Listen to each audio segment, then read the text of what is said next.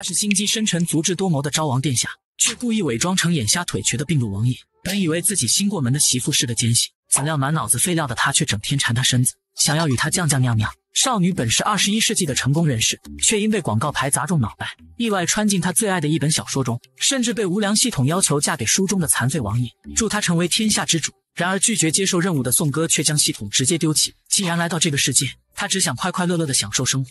为了逃婚，他偷偷摸摸的溜出河府。拥有无数商机的他，准备在古代创业，成为天下首富。哪知迎面直接撞上出门寻他的家丁。为了自由，他拼命逃窜。跑到拐角的他迅速爬到树上躲过追捕，只是这原主溺水后的身子极差，才短短几步就累到不行。怎料树枝突然断裂，猝不及防的宋哥直接摔到骨质疏松。可当他抬起头时，一个清冷的蒙眼帅哥近在眼前。这一刻，宋哥的心仿佛直接漏了半拍。蒙眼、轮椅，还帅到惨绝人寰，全身充满了独特的气质。这不就是书中的病弱王爷秦昭吗？他那细长的手指简直酥到了心坎，还有那脖子上的性感黑痣，让宋哥恨不得直接上去吧唧一口。姑娘，你还好吧？低沉又富有磁性的嗓音让宋哥彻底沦陷，垂涎三尺的他好想生扑。见对方没有回应，男人有些失落。姑娘是被秦某吓到了吗？心虚的宋哥连连否认，并极力克制着心中的躁动。只是他有些疑惑，刚刚小人没有说话，昭王爷您怎么知道小人是个姑娘呢？男人嘴角微扬，说是闻到了脂粉的香气，毕竟男人身上可没有这个味道。强装镇定的宋哥轻笑着，可内心已被男人酥到麻。为了防止暴露身份，他表示自己是何家的丫鬟，偷偷出门为自家小姐和宋哥打探下未来夫君的样貌。为此，他感到非常抱歉。男人摆手表示无碍，只是秦某有件事，或许需要劳烦姑娘。时刻为男神献身的宋哥瞬间来了精神。男人从怀里掏出发簪，因秦某出门不便，没能亲自上门拜访，所以麻烦您帮我将这簪子带给他吧。秦某虽身体残缺，不甚钱财，但这辈子。定不会辜负结发妻子。道别后，躺在树上的宋哥玩弄着手中的发簪。原书中的秦昭并非男主，而是最不受宠且无任何外挂的九皇子秦胜天，完全凭借自身的聪明才智登上称王的宝座。而秦昭在小说里不过是助男主成王的配角，不仅身体残疾，还接连克死好几任妻子。按照现在的剧情，他应该已经克死好几任了吧？要是自己嫁过去，八成也会狗带。虽然他觉得这很迷信，但又怎样呢？反正以后也不会见面了。这时，身后传来一阵吵闹声，而那人正是书中的男主秦胜天。可两人的对话却让他心头一颤。原来秦昭那些未过门的妻子，全是被秦胜天派人制造意外死亡的。就连原身和宋哥，也是被他故意推下水，造成失足的假象。只要秦昭没有戚家的帮助，便不会生出夺嫡的心思，还能成为他称王路上最佳的伙伴。被算计的宋哥眸光一冷，既然如此，那我便不会让你如愿了。何府内，所有人还在疯狂寻找逃婚的宋哥。此时门外传来急促的敲门声。当丫鬟打开门后，瞬间傻了：这出逃的小姐居然自己回来了。何父和母一脸惊讶，宋哥却哈哈一笑，表示自己只是出门透气而已。而现在的他已经做好嫁人的准备。父母闻言瞬间惊掉下巴，毕竟他之前可是宁死不嫁的。宋哥指着自己受伤的脑袋，如今的他因落水受伤失了容貌，也只有这眼瞎腿瘸的王爷不会嫌弃了。傻缺父母瞬间乐了。只要宋哥嫁给昭王，那他们儿子的官位就不用愁了。心疼原主的宋哥一声叹息，为了儿子的仕途出卖女儿，也难怪原身想要逃了。来到镜子前的宋哥唤醒系统，并表示自己愿意接受任务，毕竟他不喜欢被老鼠盯上的感觉，他要将老鼠统统抓出来，给他们亲自喂上老鼠药。更何况他已经收了郎君的钱财，为他消灾除祸理所应当，不就是助他称王吗？脑残老板都能被他辅佐成总裁，这又算得了什么？另一边的昭王府内，探查回来的李娘表示，这何家小姐本因溺水快要死了。不知为何又突然清醒了。男人默默地拾起掉落在腿边的花朵。一切的相遇都是定数，而相遇后的去留，就看他是否值得这份机遇了。婚礼当天，吃瓜群众纷纷上街看起热闹。宋哥偷偷探出脑袋，而接亲的队伍中却没有新郎的身影。宋哥有些失落，不过他那腿不能骑马也是正常。一旁的吃瓜群众开始议论纷纷：这婚事乃是皇上赐的，就昭王那个残废样哪能接亲？在这之前可是克死了十几个未婚妻，但凡是个正常人，又怎会愿意嫁给一个残废？就连这何家小姐，前几日还因此寻过短见呢。粗鄙不堪的话语让宋哥十分生气，他举起喇叭便开启护肤模式：“我才没有自寻短见，我家昭昭可甜可甜了，哪是你们这些人能看得到的？”喜婆被惊掉下巴：“小姐，赶紧回到轿子里吧。”这马上就到王府了，可别失了礼数。王府前，一身红衣的昭王正坐着扭扭车等候在那，即使被一抹红布遮住眼睛，也无法掩盖他那俊美的五官。看呆的宋哥小脸绯红，迅速缩回轿子的他激动到颤抖。我的天，我家秦昭也太帅了吧！当轿子稳稳落下后，担心对方腿脚不便的他，准备主动下去，怎料两人同时掀起帘子，直接迎面对上对方的脸颊，彼此的呼吸近在咫尺，这让宋哥整个人彻底怔住。羞到爆红的他迅速背过身子。还好有盖头遮住，这一上来就贴贴，简直招架不住呀！男人礼貌地伸出手心，今日未能亲自骑马接亲，着实惭愧。若您不嫌弃的话，这剩下的一段路，就让秦某陪您一同走吧。宋哥闻言，先是一愣，可下一秒化身舔狗的他便握住对方的手。昭王爷有心了，眼见宋哥就要踩到地上，喜婆连忙上前制止。这新娘进夫家大门前是不能沾地的。此时周围的一群人又开始起哄。这嫁人就该找个身强体壮的，光有个好听的名头有什么用？连个新娘子都背不了。宋哥闻言眉头紧皱，可男人却很淡定，想必这些话他已经听过无数次了吧。于是他想到一个点子，让下人拿来红布铺在地上踩着走，不用这么麻烦。这抱妻子过门的能力还是有的。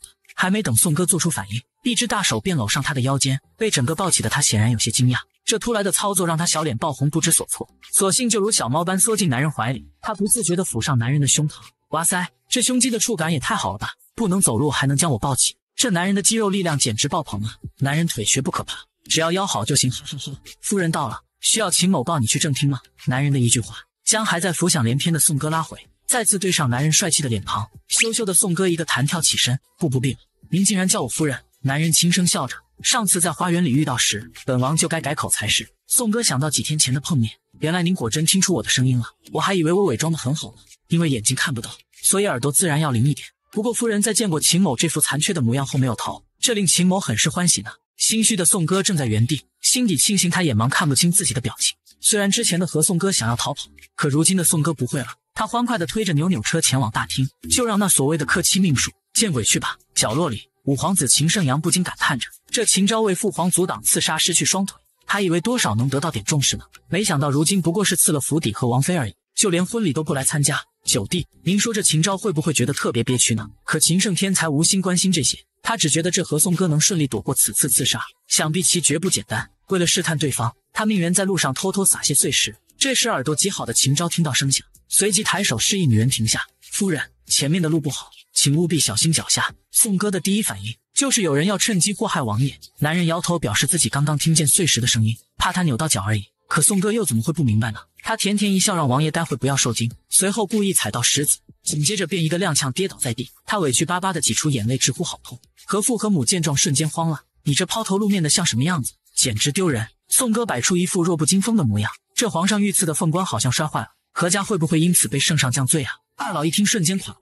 为了何家不受牵连，何父连忙表示不是他的错，因为他刚刚看到有人往地上扔了石子。这时原书男主秦圣天作为始作俑者。率先将小厮抓到跟前，并问对方想要如何处置。秦昭没想到，这女人仅仅用了一招，就逼得对方丢出弃子。既然是夫人受的伤，自然由夫人安排。宋哥故意摆出一副怕怕的样子。嘤嘤嘤，伦家乃是女子，怎能替王爷下令？还是王爷您做主吧。男人宠溺的说着无妨。宋哥夹着嗓子喊着王爷。秦昭回应着夫人，差点被狗粮噎死的众人一阵无语。他两个这干嘛呢？五皇子直接上前打断，并提议断掉那人一只手臂。戏精上身的宋哥扑进男人怀里，呜呜，好残忍呀！夫君保护我。可演戏的同时，却不忘趁机摸了一把腹肌。这么好的揩油机会，简直太棒了！王兄的好意，秦某心领了。但夫人为人心善，不喜见血，直接将那人赶出府变形。怎料五皇子却嘲笑他懦弱，这媳妇摔成这样还能忍气吞声，这孬种就是孬种。周围的吃瓜群众也跟着一旁附和着，这昭王不太行啊。然而秦昭内心却无任何波澜，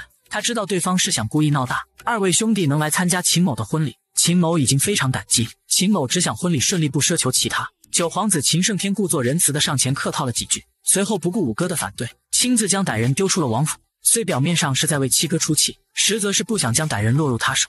他眸光看向被吓成筛子的女人，看来没能溺水死掉，真是巧合。像他这种胆怯愚笨的妇人，只会想着讨好夫家的欢心，就是留在秦昭那个懦夫身边，也成不了大事。然而在他看不见的盖头下，却是宋哥的藐视。这一切。不过才刚刚开始呢，而秦昭这副白莲花的模样却让他爱到不行。随后一阵彩虹炮疯狂输出，男人有些意外。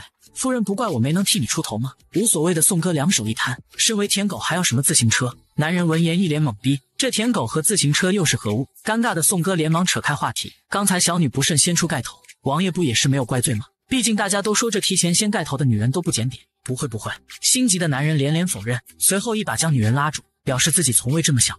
可发现自己唐突的他又连忙松手，男人面露羞涩。等到洞房时，为夫再献一次盖头，可好？听到洞房的宋哥羞耻的脸红到耳根。当两人拜完堂后，约束许久的宋哥扑通一声飞到床上，没想到被广告牌砸一下，还砸出了个帅气夫君，真得劲。关键对方还是现实中少有的禁欲系绅士，彬彬有礼的，完全不像个权贵。他想起两人分别时的画面，男人凑到他的耳边轻语，等秦某忙完婚宴，会立刻过去陪着夫人。想到这，宋哥瞬间小脸绯红，这是不是意味着他可以正大光明的做他想做的事了？新婚之夜，女人迫不及待的要为夫君宽衣解带。当问夫君想要什么体验时，对方却直接傻眼了。就在刚刚，满脑子涩涩的宋哥躺在床上浮想联翩。再过一会儿，不仅可以直面盛世美颜。说不定还能摸摸小手和腹肌。此刻兴奋的他手舞足蹈的如同一只八爪鱼。怎料这时丫鬟却突然敲门，说是夫人让他送来喜饼。忙了半天未能进食的宋哥在看到美食后瞬间饿了。可当他好心邀请对方一起品尝时，丫鬟却显得十分慌张，表示自己是奴婢，不可与主子一同进食。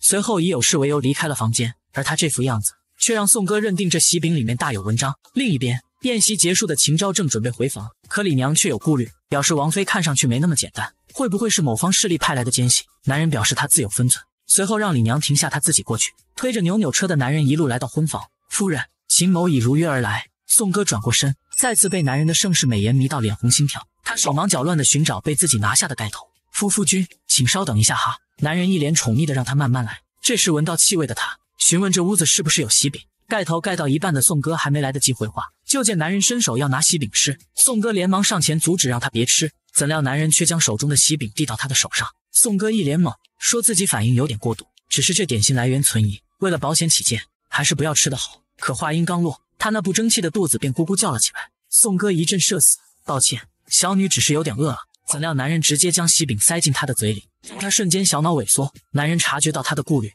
吃吧，没事的。乖巧的宋哥看了男人一眼，随后便吧唧吧唧的吃了起来。可男人却有些疑惑，夫人，您相信秦某？不然怎会如此坦然的吃下秦某塞给您的这块喜饼？夫人不怕有毒吗？宋哥擦了擦嘴角，表示自己相信他的品行。毕竟穿书而来的他很是清楚。原著中，秦昭乃是皇帝微服私访时与魔教圣女所生。即便他从小在魔教长大，还患有演技，却始终为人谦卑有礼。哪怕是宫中充满尔虞我诈，他仍旧一片真心对待各位弟兄。甚至当父皇面对危险时，他也是毫不犹豫地冲上前为他挡下那致命的一剑。可身中剧毒的他，也因此再也无法行走。当皇帝问他要何赏赐时，他也是只要了一个可以种花养生的居所，在面对危险，是即便牺牲自己也会遵从本心的正人君子。想到这，宋哥淡淡一笑，因为王爷是个心胸阔达的温柔之人，而且事实证明我赌对了。你看，我吃了喜饼也还是好好的，没有中毒呢。这答案让男人一时愣住。可秦某并没有夫人说的这般好，秦某是个废人，没有办法像其他正常男子一样，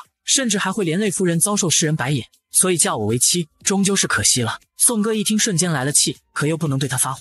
是可惜还是走运？小女心里自然清楚。说罢就要继续开吃。当男人听到她咬喜饼的声音时，瞬间慌了。他摸索的来到女人跟前，让她赶紧停下。他慌忙的将手塞进她的嘴里，让她快点吐出来。这盘子里的点心不是全都无毒的。被捅到嗓子眼的宋哥难受至极，随着哗啦一声，连同刚刚吃进肚的一同吐了出来。漱完口的他嘟囔着嘴，还好刚刚那口还没咽下肚。看来这个丫鬟果然没安好心。好在男人有闻香辨毒的能力，他询问宋哥是不是何家陪嫁来的丫鬟。可宋哥却不想现在讨论，毕竟春宵苦短，值千金。小女更想要夫君您先盖头，与我一同喝交杯酒呢。男人一阵羞涩，没想到这女人居然这么心急。今天是你我大喜的日子，秦某定不会委屈夫人。男人缓缓挑起女人的盖头，虽然自己拥有夜盲症，却还是能看出她的美貌。当两人喝完交杯酒后，宋哥开心的像个小孩，这酒真不错。男人表示自己听闻他喜欢喝酒，所以才特意准备的。可宋哥更在乎接下来的内容，他清了清嗓子。那接下来是不是该更衣入洞房了？说话间，小手已经抚上男人的胸膛，男人有些尴尬的推了推不断靠近的女人。夫人，你很着急吗？宋哥忍住内心的冲动，说自己是怕他太劳累，可内心实则快要急死了。能看遍男神全身的机会，谁能扛得住啊？见男人就要宽衣，他连忙上前帮忙。随着外衣一点点的褪去，一副结实有力的胸肌展现在眼前。我的某人鼻血狂飙百米，他颤颤巍巍的伸出小手，哇咔咔，这么好的腹肌，好想摸一摸呀！男人尴尬的皱紧眉头。表示裤子不用脱，宋哥有些失落的站起身，但却不愿放弃任何揩油机会。您腿脚不便，不如我帮您上床吧。可男人却再次婉拒，说他可以自己来。于是他靠着手臂的力量，将自己一点点支到床边，随后非常绅士的向女人伸出手：“夫人可以过来了。”宋哥被迷得失了魂，他将衣服一甩，迫不及待的就冲了过去。原书中的秦昭是个十足的禁欲系，所以完全不用担心自己会被对方抢过。更何况他连看都看不见，还不是任由自己随意望梅止渴。他嘱咐男人早些休息，然后就能尽快体验自己的快乐。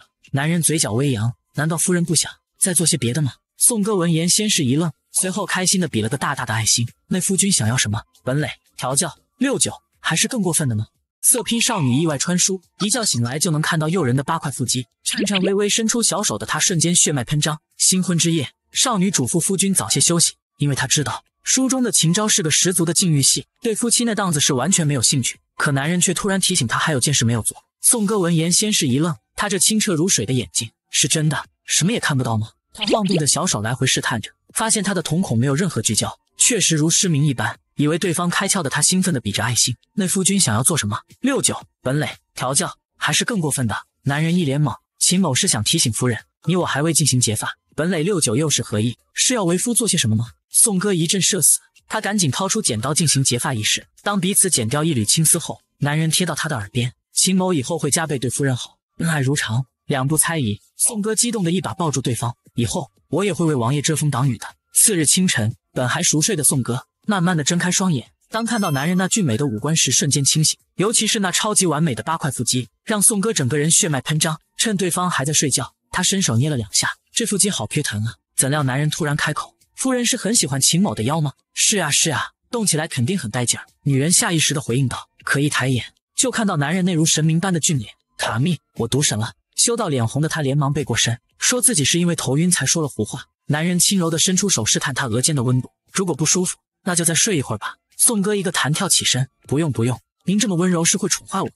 穿好衣服的宋哥上前想要帮男人更衣，可门外却传来丫鬟的声音，他夹着嗓子唤着王爷，奴婢翠儿来给您更衣了。宋哥直接横到他的跟前，怎么，你这更衣只有王爷的吗？看到宋哥后，心虚的翠儿一脸慌张，呵呵，看到我没被喜饼毒死很意外吗？翠儿连忙避开视线，奴婢不明白小姐在说些什么，奴婢以为小姐还没醒，所以就只拿了一套衣服。宋哥假装无视的笑出了声，那以后就不用麻烦你了，帮夫君更衣这种小事，我最喜欢做了。而这一切全被身后的男人尽收眼底。饭桌上，男人直接开口：“之前秦某说过，会让夫人在这里过得安定舒心，这绝不是嘴上说说。若那翠儿有问题，夫人可以自行做主，将她赶出王府。”宋哥闻言，瞬间幸福感爆棚。不过他并不是因为心善才未赶他出府，而是他觉得事有蹊跷，想要放长线钓大鱼。男人有些疑惑，问他何意。宋哥表示是有人想要从此事中获取利益。而翠儿对我下毒，无非是想取代这王妃的位置。倘若我昨日吃下那下了毒的喜饼，那么今早势必会毒发身亡。而翠儿知道王爷您因眼盲和腿伤无法人道，是不会触碰新婚妻子的，所以一大早便打着更衣的幌子出现，想要第一时间阻止您与逝去的妻子接触。这也解释了他为何只带了王爷一人的衣服，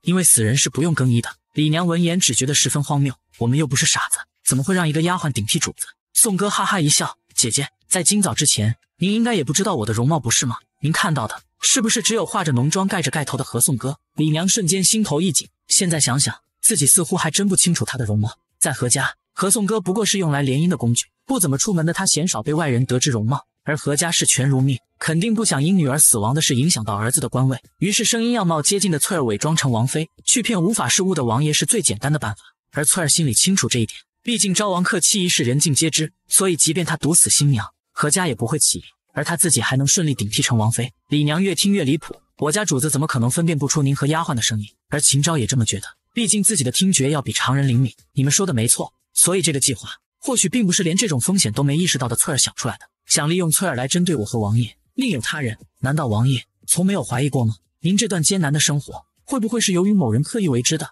其实宋哥心里清楚，这一切都是由九皇子在背后策划的。他之所以说这么多。就是想旁敲侧击一下秦昭这个死脑筋，他想知道在秦昭听到这些后会是什么反应。如果他和书中描述的一样，是个为人正派的君子，那么自己也会毫无保留，并全心全意助他成王。这时男人开口：“秦某不知夫人为何要说这些，不过秦某从未觉得现在的人生有任何艰辛，反倒周围的人对我都很照顾，每天都过得祥和安然，这也让秦某觉得无比感激呢。”宋哥闻言心头一颤，这答案果然和他想要听的一模一样。这又傻又天真的天山雪莲男，简直让他招架不住呢。他哈哈一笑，说是自己过于敏感了，随后便故意端起餐盘离开了现场。而他逗趣的模样却让男人笑出了声。李娘很是震惊，这还是他第一次见自己家主子笑得这么开心。男人看着宋哥离开的背影，夫人能活到现在真不简单，若让他死掉，就太可惜了。随后他命李娘去将翠儿处理一下，不要直接杀掉，只要他日后不会向九弟透露风声就行。对于那个曾在江湖中声名狼藉的百毒娘子，您来说，应该是。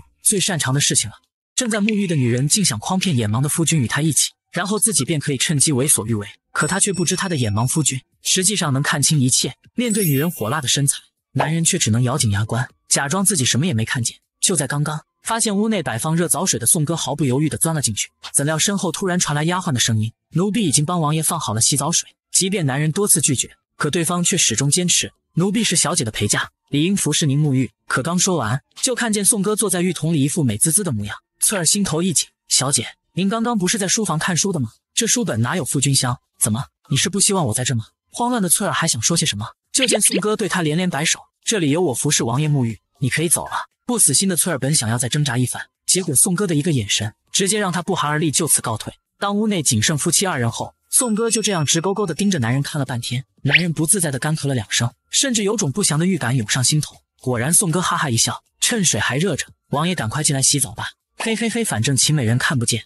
也不会知道他现在就在浴桶里，还能趁机享受一把鸳鸯浴。可男人却直接婉拒，表示可以自己来。毕竟他的眼睛只是夜盲症，在光线足的地方还是可以看清事物的。可不知情的宋哥哪会放弃这大饱眼福的机会？不行不行，万一夫君滑倒了可怎么办？男人慢慢取下眼前的丝带，就听见身后的宋哥在给他指引方向：“您向左边走，我会拉着您的。”可当男人转过身时，就见女人湿漉漉的站了起来，即便裹着浴巾，也阻挡不了她那曼妙的身材。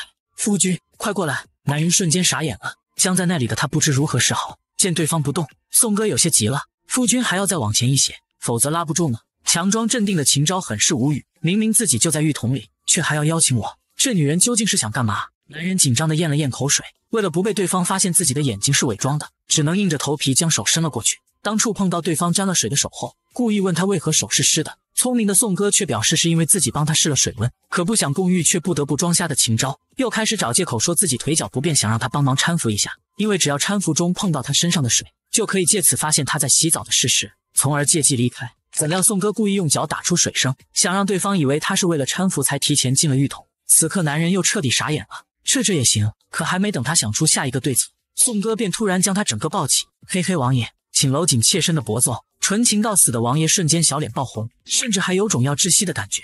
这女人也太不检点了吧！被抱进浴桶的男人连忙伸手示意到此为止，剩下的他自己可以。可宋哥怎会就此罢手？他拿着毛巾，不如让我为夫君您擦背吧。男人又彻底炸了，这女人果然不检点。当宋哥的手搭上的那一刻，他整个人都麻了。那个夫人，你今天也忙了一天，不如早些休息，不用迁就秦某的。宋哥流着哈喇子，没事没事，这都是举手之劳。男人闻言一脸黑线，当余光瞥过身后，就看见女人正擦着口水，一脸贼笑，甚至小手还不安分的上下摸索。这女人简直太放荡了。男人眉头微皱，强忍着不让对方发现端倪。可在他的印象中，作为大家闺秀，应该都是羞涩紧张才对。可她为何犹如楼中继子一般如此开放？难道她根本就不适合宋哥？女人沐浴时竟想诓骗眼盲夫君与她一起，那么自己便能趁机为所欲为。可她的一举一动，却让装瞎的男人差点崩溃。她所表现出的样子，完全不像个大家闺秀，这让秦昭甚至怀疑她是否真的是和宋哥本尊。难不成她所展现的忠诚，都是为了博取自己的信任吗？为了判定他是否是敌方派来的奸细，秦昭决定再多观察几日。倘若他不能承担起昭王妃的职责，为己所用，那时再处决也不迟。可下一秒，脖子间的刺痛便将他的思绪拉回，惊恐的转过身：“夫人，您刚刚是在干嘛？”男人的内心极度崩溃，这女人竟敢下手掐我的痣。与此同时，宋哥却在内心窃喜着，这颗小黑痣实在是太性感了，着实没能忍住呀。他委屈巴巴的看着男人，表示自己以为是个灰尘，想擦掉而已。秦昭闻言一滴汗，这女人总是能很快找到理由。宋哥尴尬的站起身，已经为您擦好背了。那我就先出去了。可当他跨出浴桶的那一刻，差点让装瞎的男人真成了瞎子。小脸爆红的他连忙转向一边：“苍天啊，快饶了我吧！”而这一切全被躲在屋外的翠儿看在眼里。陪在王爷身边的人本该是我和宋哥，我早晚会将你取代的。然而在他身后看不见的地方，却闪过一道黑影。次日清晨，翠儿取来一包药粉，搅拌在宋哥最爱喝的红枣莲子羹中。就在他幻想自己即将成为王妃时，李娘却突然出现在身后，问他在这干嘛。他连忙将残留的药粉藏到身后，并仗着李娘老眼昏花，便想着随便糊弄过去。若是能让他成为自己的帮凶，那计划便能更加顺利。他若无其事地端起粥，我看您太累，所以想帮您分担点家务。这粥就当是您煮的，只要给主子们送去就可以了。可作为百毒娘子，只需一丝气味便能闻出问题所在。李娘嘴角微扬，你还真是个有心的姑娘。你这么会为老身着想，那老身自然也要对你好点才行。不如这碗红枣莲子羹就赏给你吃吧。翠儿闻言，瞬间心头一紧，不断靠近的李娘吓得她连连后退。不，不用了，这羹是特意给小姐熬的，奴婢怎能？可话还没说完，就被李娘按住脑袋，被强行灌下肚的翠儿只能呜呜的抗议着。你不想喝也得喝。昨夜你在窗外说的那些话，我可全听见了。小浪蹄子，居然敢在老娘面前玩借刀杀人的把戏！论下毒，你还得喊我一声师祖奶奶呢。另一边，后花园里的小夫妻俩正和谐的吃着早点。宋哥将包子递到男人的盘子里，说：“味道不错，让他尝尝。”装瞎的男人故意来回戳了半天，总是完美的避开包子的位置。宋哥被逗得哈哈大笑：“对，对不起，是臣妾失职了。”可内心却被他可爱的样子萌到不行。男人故意摆出羞愧的模样：“不怪夫人，是我自己的问题。”想要趁机调戏的宋哥夹起包子：“那我来喂你吃吧。”吃着不太好吧？男人羞涩到小脸爆红，可宋哥却已凑到他的跟前，让他张嘴。男人有些无语，却还是配合的吃了下去。摆个心眼的两个人彼此互装。这时男人突然开口，说明日便是回门的日子，他会尽己所能。宋哥这才想起他那便宜爹娘，看来是时候开始进行主线任务了。没想到我宋哥如今也是已婚人士了。次日一大早，翠儿便眼含泪花的恳求王爷带她一同前往和府，可秦昭却果断拒绝。翠儿闻言瞬间傻眼，崩溃的她直接扑向宋哥，求小姐您。可话还没说完，李娘便突然来到他的身后。王府还有很多事呢，不要总是想着出去玩。李娘的一个眼神，让翠儿不敢再生出其他心思，只能硬着头皮跟着回了王府。古怪的二人让宋哥不免生疑：这李娘究竟做了什么，让翠儿怕成这样？他转身提醒秦昭防人之心不可无，可男人却淡淡一笑：“夫人仅可信任李娘便好。她是从小看着我长大的，为人忠厚老实，待人和善。我相信她一定能让翠儿迷途知返。”宋哥闻言瞬间麻了，这翠儿在李娘面前就像只待宰的鱼儿，这男人怕是对忠厚老实有什么误解吧？觉得王爷太单纯的宋哥还是无法放心。王爷相信我，这件事没有这么简单。可男人却突然伸手将他打断，而接下来的一句话却让宋哥直接迷了心智。女人被迫嫁了个眼盲腿残的病弱王爷，可她每天却开心的要死。殊不知他眼中的小白兔，实则是只大灰狼。可他却还在为单纯的王爷操心，提醒他要多多提防身边的人。男人却故意将他打断。夫人为何还在叫我王爷？是不是该改口了？被美色成功吸引的宋哥瞬间来了劲。那您想要我怎么称呼？男人故作羞涩，表示除了王爷叫什么都行。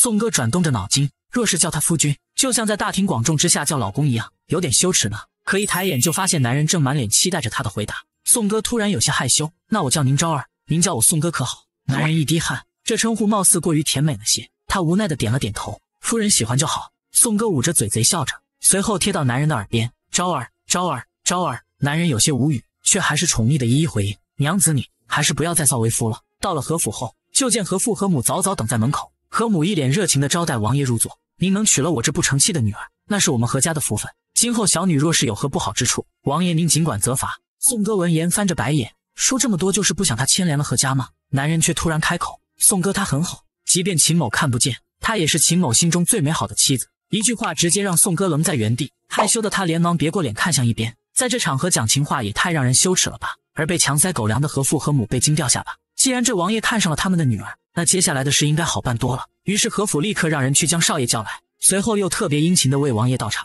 皇上之前说，只要小女嫁给王爷，就能给犬子赐官一事，不知王爷可有眉目呢？宋哥闻言瞬间无语，这虚伪的热情，果然还是为了那便宜哥哥。父皇的心思，秦某不敢揣测。不过君无戏言，或许再过几日便会下诏吧。可心急的何父却想尽快能够落实，秦昭愧疚的连连抱歉，因身子不好，所以很少被父皇召见，在这件事上怕是帮不上什么。期待落空的何府立马切换嘴脸，一副鄙夷，气得宋哥差点掀了桌子。他刚开口维护夫君，那傻缺的哥哥何宗盛就走了进来，才刚过门就开始胳膊向外拐了。果然是嫁出去的女人泼出去的水，指望你办事的话，还不如直接花钱买个秀才呢。宋哥强忍着怒气，懒得搭理。何父赶忙打断，让何宗盛坐下陪王爷喝茶。可何宗盛仗着对方眼瞎看不见。哈气连天，一副无礼的样子。喝茶多没意思，还不如喝酒呢。哈哈，抱歉，我忘记王爷您身子骨弱，想必这酒也不能喝吧。宋哥闻言便端起酒杯要替夫君饮酒，男人却轻柔地握住他的手心，将他拦下。夫人不用担心，昭儿酒量很好的。有被聊到的宋哥瞬间小脸一红，天哪，我家昭儿简直帅爆了！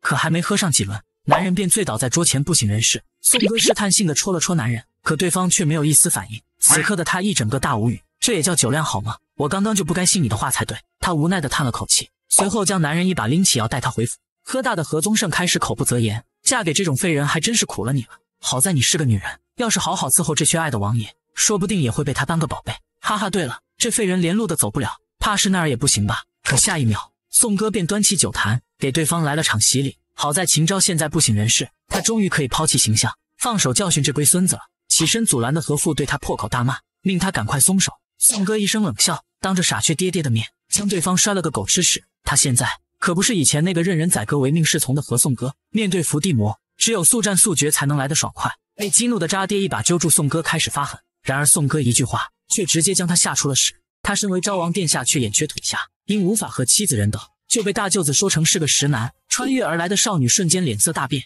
直接将那傻缺哥哥按在地上疯狂摩擦。护短的渣爹不干了，直接揪住宋哥，让他归还所有嫁妆，滚出何府。宋哥眼神阴冷，那你赶紧草你书记主我出门吧。强势的宋哥吓得渣爹连连后退，说他大逆不道。宋哥冷笑出声，怎么不敢了吗？也对，若我不再是何家的长女，那兄长的御赐官职。怕是也无法作数了吧？就连收到的聘礼也要归还给王爷，这价值可比嫁妆多不少呢。若是拒绝，那怕是要多个欺君之罪了。两个渣男一听，瞬间傻眼了。被激怒的何宗盛直接对着宋哥开骂，怎料宋哥一脚踩在离靶心还有零点一毫米的凳子上，男人瞬间被吓得尿不湿都要尿湿了。宋哥眼冒寒光的盯着对方，我说何少爷，凡事都要认清自己的身份，以及在这场交易中有资格傲慢的人是谁。作为商贾世家的你，难道连这个道理都不懂吗？片刻后，宋哥草拟了一份契约。他会归还何家所有嫁妆，但何家必须在三年内不得向昭王府提出任何要求，否则十倍赔偿。贪财的渣爹想都没想就签上了大名，心想这宋哥是不是脑子不好？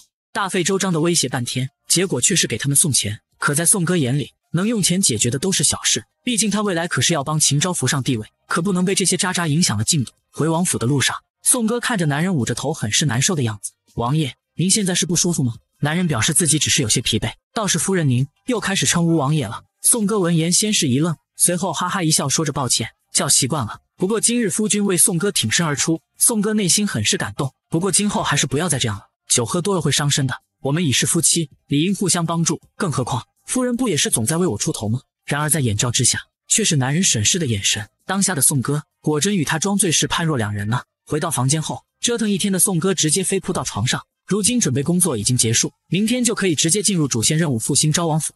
突然，鼻尖传来一股淡淡的茶香气，他开心的抱着被子来回翻滚。招美人香香，宋哥爱爱。这时身后传来一阵轮毂的声音，尴尬的宋哥一个弹跳起身。昭儿是想要休息了吗？可内心却慌得一批，他应该没发现什么吧？男人害羞的拿出几张纸让他收下。花痴的宋哥接过纸张，一顿彩虹炮。夫君的字写的真好看呢。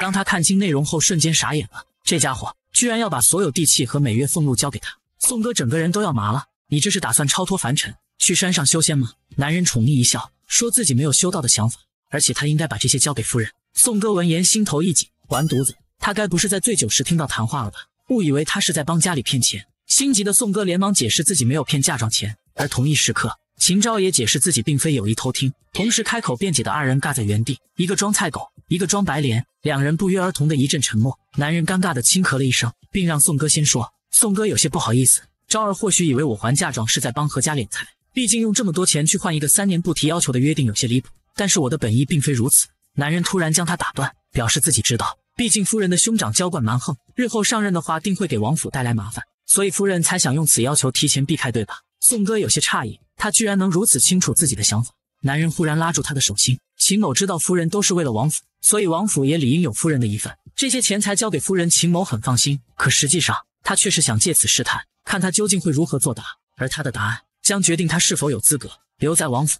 他心机深沉，杀伐果断，却故意装成病弱体残的白莲花，只为了让死敌放松警惕。然而皇帝的突然赐婚却让他心生戒备，于是他拿出所有资产，想要对其试探一番。无论他是感恩戴德的收下，亦或是觉得被金钱羞辱，断然拒绝，显然都不会是他想要的结果。而这场测验将决定他的去留。面对这笔巨款，宋哥有些迟疑，在思索片刻后，他缓缓开口：“若是可以，我希望能在书契里多加一份条款。”男人有些不解，问他何意。宋哥拿起契约，说：“这张纸的价值在于共赢，双方必有舍有得，才能达成稳定合作。然而这份契约中只有单纯的给予，根本达不到共赢，是合约中最易崩盘的类型。而对于这种毫无发展可言的生意，我根本没有兴趣。所以夫人想要如何修改？”宋哥提起笔，加上约束。秦昭将府邸和俸禄交予何宋哥使用，何宋哥则需以此为本金，三个月为期限，使原有资金翻三倍。不过他还有个属于自己的小九九，那就是违约者要扮演仆从。而且还要无条件的满足对方任何需求，这结果显然让男人有些意外。何宋哥，你果然不简单呢。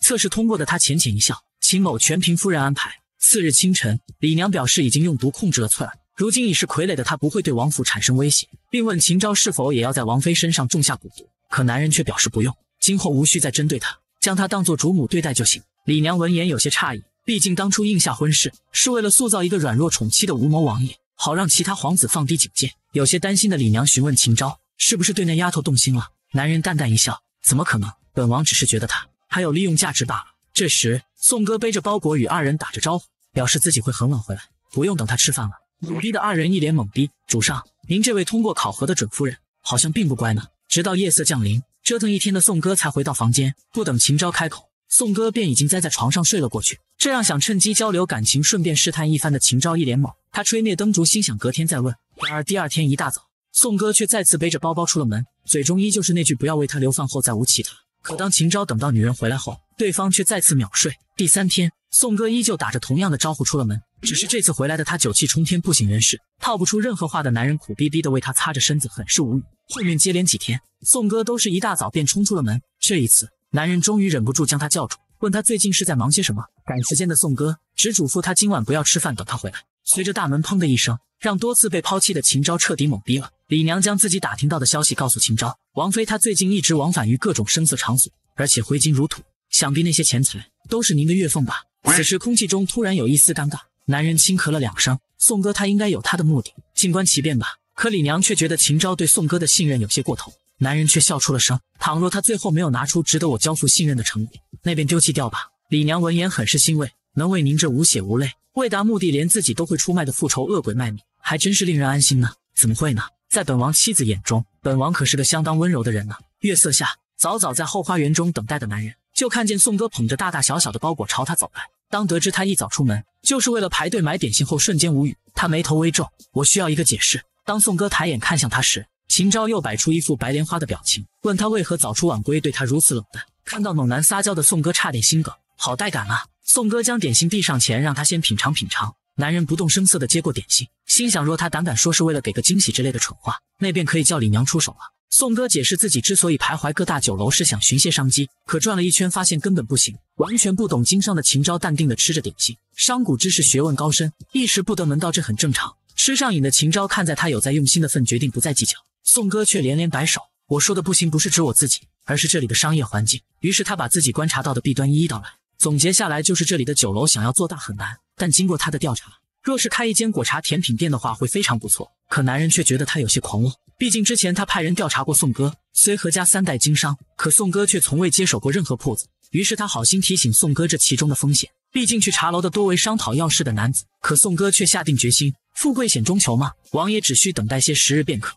见对方一意孤行，秦昭也只能应下。想到什么的他突然开口：“那夫人明天还要出门吗？或许你我二人可以不去了，不去了。”好不容易可以休息补个觉呢，被抢了话的秦昭只能可怜巴巴的将未说出的邀请咽回了肚里。补吧补吧。然而次日一大早，男人却再次崩溃了。男人一觉醒来就遇到十分棘手的事，那就是如何支开趴在自己身上还在呼呼大睡的媳妇。最要命的是，他居然在这时有了感觉。就在刚刚睡醒的秦昭看着女人豪放的睡姿，很是无语。他回想着近日发生的一切，而眼前的这个女人与他调查中得到的信息完全不同，可以说是性格相反的两个人。不仅没有一丝婉约矜持。甚至还经常说出一些从未听过的生僻言语，而且还相当的霸道。此刻的秦昭突然愣住，自己为何要用霸道这个词？不过他认为，像她这样身份的女子，不可能会对这样残废的自己如此狂热和忠诚。何宋哥，你究竟在隐瞒什么？你接近我，究竟是有何目的？可下一秒，女人便一个翻身将他压住，嘴角流出口水的他，不停的唤着朝田心儿。男人一脸懵，朝田心儿又是什么鬼？可他顾不上去想这些，因为他的身体居然在这时发生了变化。虽然他的双腿因中毒无法行走，可这并不影响到其他的腿。男人此刻很是凌乱，他在纠结要不要叫醒宋哥。可若是叫醒他，他又该如何解释这个情况？说自己是正常人，然后被他质疑为何不传宗接代？想到子嗣，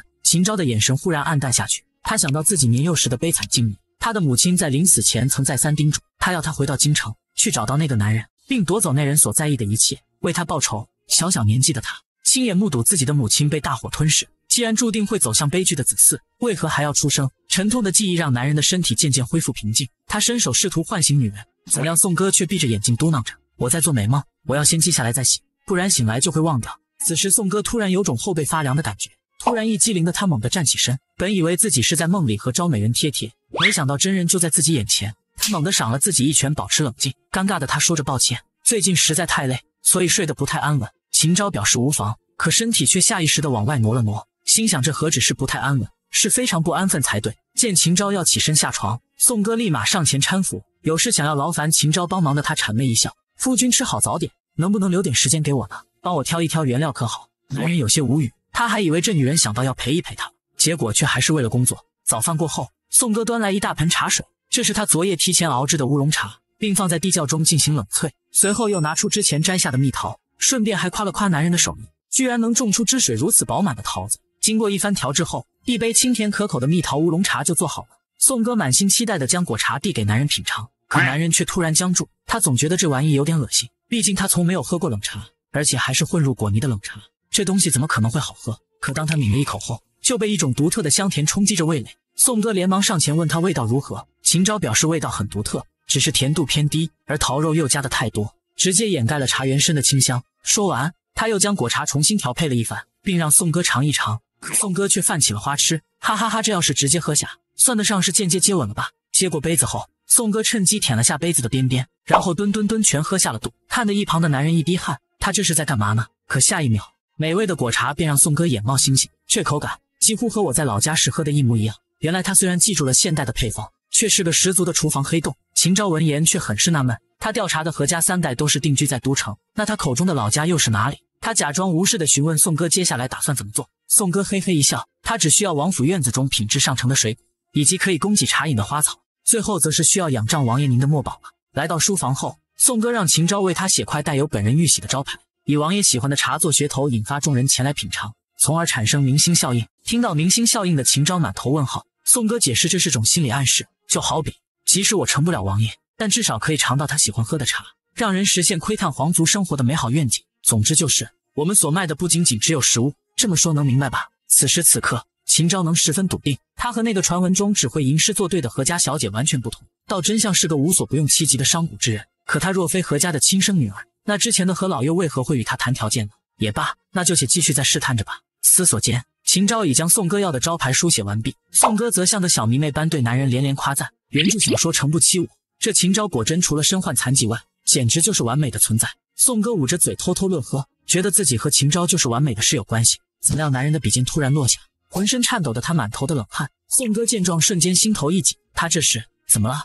喘着粗气的男人正痛苦的躺在床上，可身体上的疼痛却远远不及内心的万分之一，因为他的出生就是为了复仇。在孤独漫长的岁月中，他从未感受到过一丁点的爱，直到他突然出现在他的生命中。就在刚刚，突发寒疾的男人蜷缩成一团，苍白的脸上布满汗珠，这让一旁的宋哥瞬间心头一紧。秦昭，你怎么了？为何身体抖成这样？男人强行挤出一抹微笑，表示无碍，只是旧疾复发，休息片刻就好。听到这，宋哥想到原书中有提及过，那年秦昭为皇帝挡箭中了寒毒，可请遍所有医者也未能彻底驱除，只能将残余毒气逼至腿处。从那时起。秦昭不仅失去双腿，甚至每月还会毒发一次，使人冷如冰雪剧痛难忍。可现在的他却故意表现出云淡风轻的样子，独自忍受着非人的痛楚。宋哥一把拽住轮椅，王爷莫慌，宋哥这就带着您去取暖。男人闻言很是诧异，他是如何知道自己现在很冷的？此刻的秦昭再次生疑，因为他的腿并非是永久损伤，只是被寒毒冻住了经脉，这是他一次次尝试化解寒气时发现的，而此事根本无人知晓。可他和宋哥居然能得知连皇上和御医都没能弄清楚的真相。宋哥取来厚厚的被褥给男人保暖，然后便头也不回地冲出门外，独留秦昭一人难受地躺在那里。他强撑着坐起身，试图运起真气，可脑袋却止不住的乱想，觉得宋哥一定是嫌他麻烦出去躲清闲了。当真气强行冲破冻结的经脉时，就如一根根无形的丝线牵扯着他的全身。耗光所有力气后，秦昭重重地倒了下去，因为这是让双腿恢复的唯一办法。可这一次，他却比以往的任何一次都要孤独无助。从小到大，他一直劝诫自己，这个世界能帮助自己的只有自己，即便是已结发的夫妻，也不值得交付任何信任。可就在这时，紧闭的大门却再次打开，只见宋哥举着比他还大的木桶跑了进来，惊得秦昭目瞪狗呆。他撑起虚弱的身子，问他在做什么。宋哥却贴心的让他躺好就行，其他的不用管。装下的男人一脸疑惑，宋哥呵呵一笑，既然是寒毒，那当然要先保住温度。他曾想过。要学书中那种彼此依靠取暖的方法，可是他对自己的体温完全没有信心，所以还是借助外物保暖更加靠谱。男人偷偷观察着他的一举一动，看明白他是想通过泡热浴来提升体温，可自己以前从没试过，因为害怕被别人发现自己的软肋，他总是一人默默的扛着。习惯戒备的他不断在内心劝诫自己，他所做的这些不过是在装装样子罢了。或许李娘说的没错，他和宋哥很有可能是别人派来的奸细，可仔细想想又说不通。若他真是只为了博取信任。完全可以选择在一旁陪着照料就行，根本没有必要大费周章的去做这些对自己无益的事情。而另一边，呆萌的宋哥还在为打火苦恼，他咔咔咔的戳了半天，却不见半点火星。成狗的秦昭一整个大无语，他忍不住提醒宋哥用干草引燃后再放入木柴。收到信息的宋哥果然很快就生起了火。作为一个现代人，他只觉得好神奇，可男人却一滴汗。这女人果然是个大小姐，要是身为细作，怎么可能连火石都不会？升起火后，宋哥卖力地端着一盆又一盆水倒进木桶，可这边的秦昭已经痛得没法思考了，只能继续尝试用真气疏通经脉。而这边的宋哥已经加好水，就等着水温上去了。这时秦昭突然心头一紧，宋哥居然将自己当成暖宝宝贴在他的身旁，突来的举动让他惨白的小脸瞬间通红一片。他羞涩的表示不用这样，可宋哥却说没事，毕竟多多少少能让你暖和一点。可当他不经意的触碰到他的脸颊时，他瞬间惊呆了，他的脸好冰，就像是万年的冰雪一般。之前看小说时也只是文字上的描写，没想到实感却如此惊人。难道他之前的每个月都要经历一次这种几乎濒临死亡的绝望吗？想到这，宋哥再次抛下男人冲出了门，这让好不容易有了一点依靠的男人瞬间心凉到谷底，心想宋哥一定是被他极其低下的体温吓跑。他劝自己不要再去奢望，毕竟以前咬咬牙也就过去了，反正所有人都会弃他而去，他早就习惯了，他根本就没有资格失落。男人紧紧地搂住自己，没错，再忍一忍，一切都会过去。片刻后，回来的宋哥再次推开大门，他让男人起来喝下自己刚刚熬的姜汁红糖，可男人已经冻得无法说话，更别说起身了。眼看嘴边的冷气呼呼直冒，宋哥才意识到他现在已经冷到无法行动，于是他上前将秦昭扶起，靠在自己身上。可喂水的同时还不忘嘟囔说：“这情况若是在小说里，男女主那都是嘴对嘴喂药的。”秦昭闻言瞬间心头一紧，难道他是也想要这样做吗？腹黑王爷没想到自己的软肋被妻子发现，可即便此刻寒毒发作，痛苦难耐，他却还是想要试探妻子是否是敌方派来的奸细。怎料妻子却直接坦言自己是来自另一个世界的传输者。就在刚刚，给王爷喂药的宋哥讲到书本中，男女主喂药都是嘴对嘴的。听到这话，纯情的王爷彻底不淡定了，还以为这女人想趁机占他便宜。见男人面露不悦，宋哥还以为是水太烫，他一边替王爷擦嘴，一边接着刚刚的话题：“王爷放心吧，我是不会这么做的。毕竟王爷您还能喝得进去，更何况咱俩还没熟到那种程度。”一句话，差点又把男人直接呛死。什么叫没熟到那种程度？这婚都结了，他居然还敢说不熟？这女人是想故意气死我吧？宋哥捧着喝光光的碗夸她真棒，男人更加气愤了。这女人根本就是没把我当夫君看待。可下一秒，宋哥便一脸贼笑：“夫君，水已经烧好了，我帮您更衣沐浴吧。”可这表情却让男人彻底疯了。他肯定就是奸细，没错了。男人一脸娇羞，却又不能拒绝。可他发现自己又回到了之前的问题：若他真是奸细，根本就没必要去做这些蠢事。因无法看透宋哥，男人心烦到不行。可宋哥却被男人迷成了星星眼，哈哈，这小妖精可真美啊！体力惊人的他一把将男人抱起，羞得秦昭不敢抬脸。他不明白这女人哪来这么大的力气。宋哥默默地在一旁削着姜片，而男人本还惨白的脸色逐渐开始红润。他能明显感觉到经脉不再彻底封闭，若是在这时使用真气冲开，应该不会像之前一般痛得难以忍受了。可是他有些好奇，于是问宋哥是如何知道可以这样缓解寒毒的。宋哥呵呵一笑，说自己不懂这些，我只是觉得既然身子冷，那就先让自己暖和起来。男人瞬间恍然大悟，没错，既然不舒服。那就想办法让自己变得舒服，这么简单的道理，他居然在终日的伪装中逐渐遗忘。此刻的他已经恢复大半，可宋哥却还在吭哧吭哧的削着姜片。秦昭忍不住提醒：“药浴的话不能放太多呢。”尴尬的宋哥连连抱歉：“我不太懂医理，不过我学习能力强，有什么不妥的？昭儿直接同我说便好。”此时男人决定对他一番试探：“夫人为何对为夫如此的信任？明明我是这般不可靠的模样。”宋哥捞出多余的姜片：“论药材，王爷您最清楚不过。”毕竟，在整个江湖中，除了一绝问当归外，怕是没有人能比得过秦王圣手了。男人心头一紧，夫人怎会知道我会医术？这很简单啊！新婚那天，昭儿曾阻止我吃有毒的西饼，一般人怎么可能仅凭嗅觉就辨出点心是否有毒呢？男人一滴汗，原来是因为这个呀！可即便如此，他却仍旧抱有怀疑，因为他总觉得哪里不太对，尤其是他嘴里的那些名号。宋哥突然凑上前，嘴角扬起一抹弧度，骗你的！男人被整得莫名其妙，这女人在搞什么鬼？宋哥故意撩起她的发丝，眼睛一眨不眨的看着男人。秦昭被盯得莫名的有些发慌，可女人却再次贴到他的耳边：“我之所以清楚您在江湖中的地位，那是因为我看过一本小说。”懵逼的男人一脸懵逼：“小说是为何物？小说就是类似于这里的画本，就是写了各种故事的那种。”男人有点懵：“夫人的意思是，有人将本王写成了画本吗？”女人淡淡一笑：“若是我说我是来自另一个世界的，你会相信吗？”男人伪装多年却被妻子发现软肋，然而这不是最要命的。而是妻子居然向他坦言自己是来自另一个世界的传输者。就在刚刚，新婚不久的妻子说自己看过一本关于他的小说，类似于这里的画本，这让秦昭一度以为是自己遭到心腹的背叛。毕竟他隐藏的很好，旁人又怎么可能知晓？秦昭忍不住询问：“将自己写成画本的是江湖中人，是也不是吧？”宋哥的回答模棱两可，却让男人再次陷入沉思。这时，宋哥发现他的手已经恢复温度，他拉着男人的手，开心万分。看来这个方法真的有用。然而，他发自内心的笑却被男人看在眼里。以前寒毒发作时，只有自己一人，痛苦的完全没有机会试用热浴的方法。真没想到自己也会陷入医者不能自医的境地。怎料宋哥却俯下身继续添加柴火，保持水温。夫君还是多泡一会吧。每次发作似乎都要几个时辰呢。男人怔怔的看着眼前人，这女人居然连发作的时辰都一清二楚。不对，他之前的话一定还有所隐瞒，绝不能被他打岔糊弄过去。若真是被轻信反水，那可就难办了。男人故意回到之前的话题，夫人刚刚提到的小说，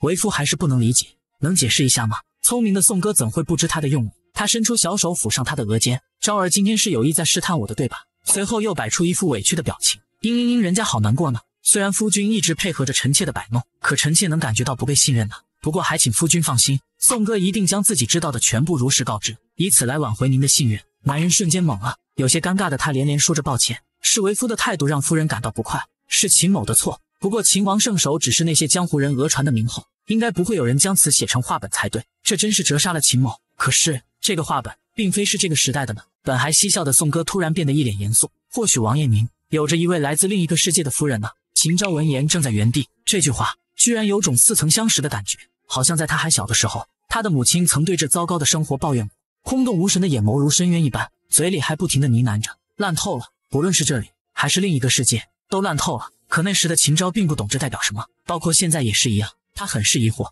什么叫做另一个世界？此时，宋哥敲起小黑板，开始巴拉巴拉解释自己穿越来的详细过程。总之就是这样，不知道夫君能否听得明白？秦昭虽然有点懵。但通过他的叙述已基本了解，也就是说，夫人是从一个为夫完全不知道的地方借尸还魂到了此处，而夫人需要帮为夫成功继位，然后就能回家。夫君果然聪明，因为宋哥知道您没有继承皇位的心思，所以才决定和您好好聊一聊。装瞎的男人将视线移开，好在宋哥现在将丝带给他蒙上，否则这眼睛就要装不下去了。只是这和宋哥刚刚的解释有违常理，他不清楚是不是他在故意套话，可是他的话又让他困惑已久的事逐渐清晰。算了，还是暂且先稳住一段时日吧。此时以为男人眼瞎的宋哥，正肆无忌惮的犯着花痴，害得装瞎的秦昭一阵无语。既然对方为了打消疑虑全盘托出，那么自己也要付出一些东西才行。他问宋哥是不是很想回家？应该是吧，毕竟股份呀、朋友呀都在那边，况且这里有很多东西都不太方便，手机和抽水马桶才是正道。这时男人向宋哥透露自己的腿有治愈的可能。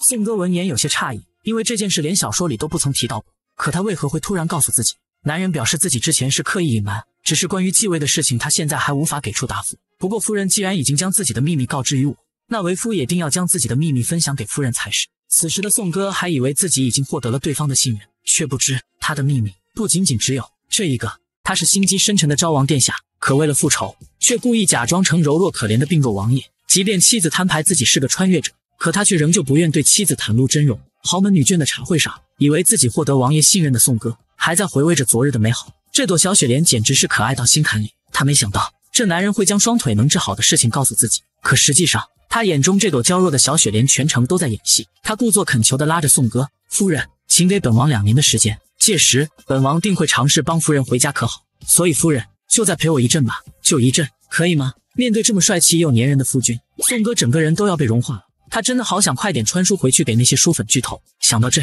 宋哥忍不住笑出了声。一旁的李夫人看到他傻笑，很是不满。昭王妃在笑什么？为何坐在角落里不与姐妹们聊天？宋哥脑筋一转，表示姐妹们讲的故事非常有趣，因为听得太开心，不想打断。宋哥的低调让李夫人很是高兴，本还以为他昭王妃来这是为了抢风头，现在看来人还不错。于是他立马吩咐下人多上点茶点。宋哥趁机拿出一大筐点心，姐姐不用破费，妹妹正好带了些点心想同大家分享。形似饱满的点心十分诱人，被惊艳到的李夫人询问是王府的厨子做的吗？为开业做准备的宋哥疯狂介绍，这些皆是尝鲜品，就是市面上还未出售的点心，而诸位就是最先尝到的贵客。当然，这边还给各位配了甜甜的果茶，喝不惯苦涩的可以品尝一下哦。从未见过的东西让各位夫人很是新奇。当浅浅的尝试一口后，仿佛打开了新世界的大门。不仅造型精致，还有非常香醇的蛋黄夹心。原来栗子也能做成点心，甚至还有非常细密的口感，就连香甜的茶水里都藏有果肉。好吃又新奇的点心，瞬间让几位夫人爱不释手。而这结果让宋哥十分满意，看来测试成功了。在这之前，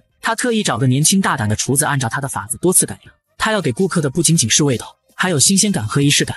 从而让这里的人追捧无限购买。结束前，宋哥给每个人都备了一份，让他们带回去给家人尝尝。这样一来，店铺还没开张就已提前攒了部分人气。此时在门外等候的李娘，在看到宋哥怀里抱的满满当当的东西后，瞬间懵了。夫人，您这怀里堆的是什么？宋哥哈哈一笑，说这些都是官家夫人塞的回礼。可李娘记得这里夫人是出了名的小肚鸡肠，她很是不解的问宋哥：“他们今天没有刁难您吗？”宋哥开心的将包裹丢进车里。为什么要刁难呢？姐妹们人都很不错呢。李娘闻言瞬间宽心了不少，还以为这些贵人会当面嚼舌根给您难堪呢。当然有嚼舌根了，而且还说了不少呢。李娘一听就要前去为他出气，可宋哥却觉得没有必要。他们不过是靠诋毁他人获得发泄的可怜人，若是我为此伤心，那岂不是和他们一样了？宋哥的心大让李娘十分佩服。夫人还是多担心担心下马上开业的店铺吧，万一生意不好该怎么办？宋哥却信心满满。如今万事俱备，只欠东风了。回到王府后，换了一身男装的宋哥举着算盘问昭儿如何。男人闻言望去，瞬间被惊到脸红心跳。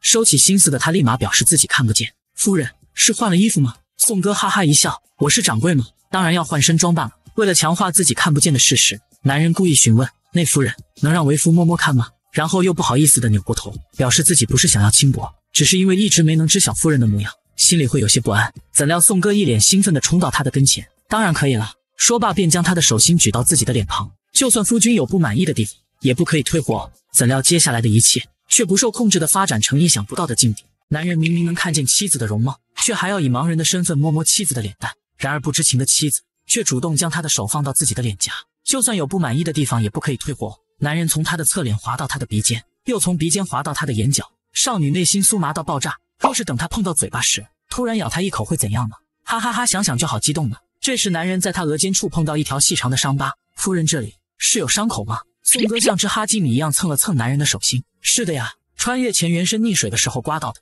不过也是因为这个，那渣爹才会相信我会乖乖嫁给王爷。不过好在有刘海盖住，不仔细看是看不到的。虽表面一直笑着，可内心却在想他秦昭会不会因此嫌弃。那时候应该很疼吧。男人关切的语气让宋哥很是意外。妈呀，不愧是我推，简直撩到爆啊！不疼不疼，这点小伤不算什么，还能把我和昭王妃的身份区分开，方便的很。难道夫人现在穿的是男装吗？早就看到的男人故意问道。因为穿男装办事比较方便，这个时代对女子抛头露面做生意多少会抱有成见。若是以昭王妃的身份搞这些的话，说不定还会引来事端。所以我索性装扮成和宋哥的远房表弟。秦昭闻言愣在原地，他的一举一动居然都在为王府考虑。夫人想穿什么？就穿什么，不用去考虑这些。宋哥玩味的看着男人，那我要是穿了女装被别人传，昭王妃每天与人拉拉扯扯，给昭王戴绿帽的话怎么办？夫君听到这些也不会生气吗？男人突然怔住，那个生气或许会生气的。他有些不自然的低下了头。可夫人既然替为夫担起男子本该担的责任，那为夫自然也要承担起妻子的职责才对。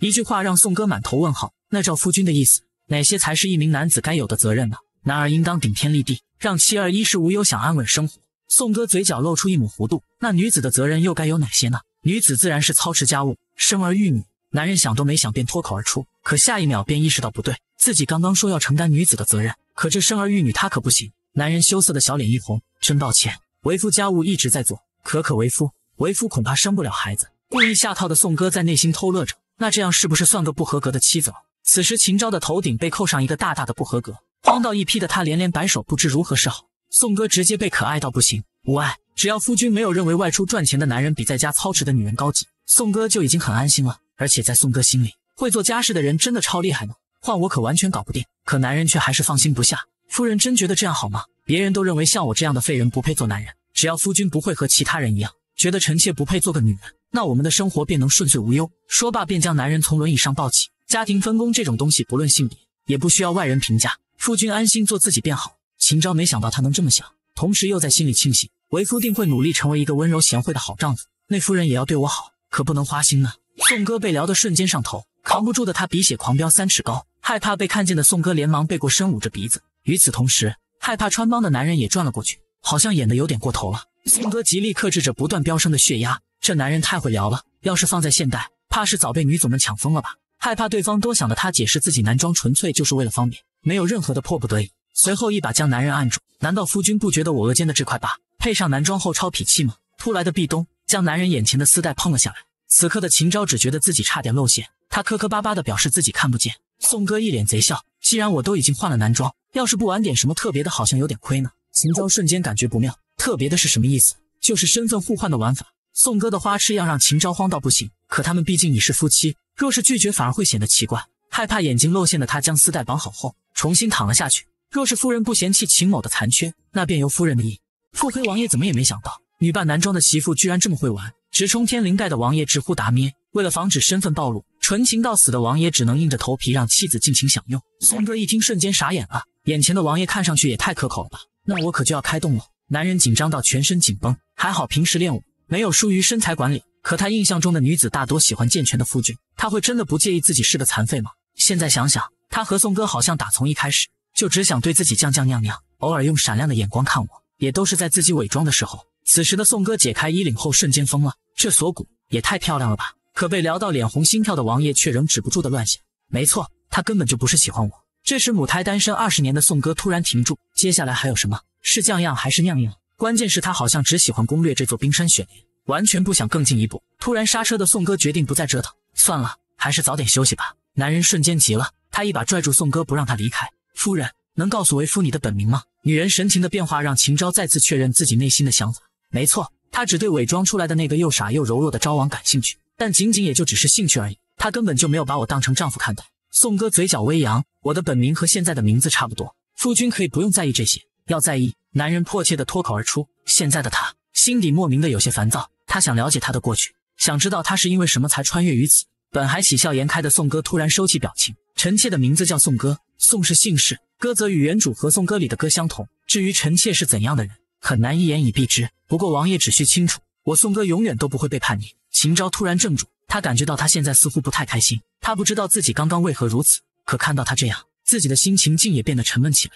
转眼，宋哥再次恢复成之前大大咧咧的样子。快点睡觉觉吧，店铺开张前可要养好精神呢。一大清早，街头便响起了喜竹鞭炮声，而筹备许久的七爷茶铺也终于开业了。一早前来帮忙的李娘面露不悦，她辛辛苦苦挑的几个壮汉宋哥一个没要，却偏偏挑了些肩不能扛、手不能提的小姑娘和小伙子，到时候用不好，可别怪我没提醒过你。宋哥打着哈哈，让他莫要生气，随后吩咐店里的伙计，让他们时刻保持百分百的热情。他要将海底捞的服务理念贯彻到底。看不懂的李娘在一旁甚是烦躁，有这功夫还不如多想想怎么拉客。王爷他自己都舍不得请人打理府内，却把俸禄都交给夫人使用，夫人倒是挥金如土，别到时候连次月房租都交不起。何止房租呀，店里伙计的工钱都还欠着呢。宋哥的补刀差点让李娘崩溃，已经败到这个地步了吗？忍耐到极限的李娘拍而起，这都已经过了晌午了，却连半个顾客都没有。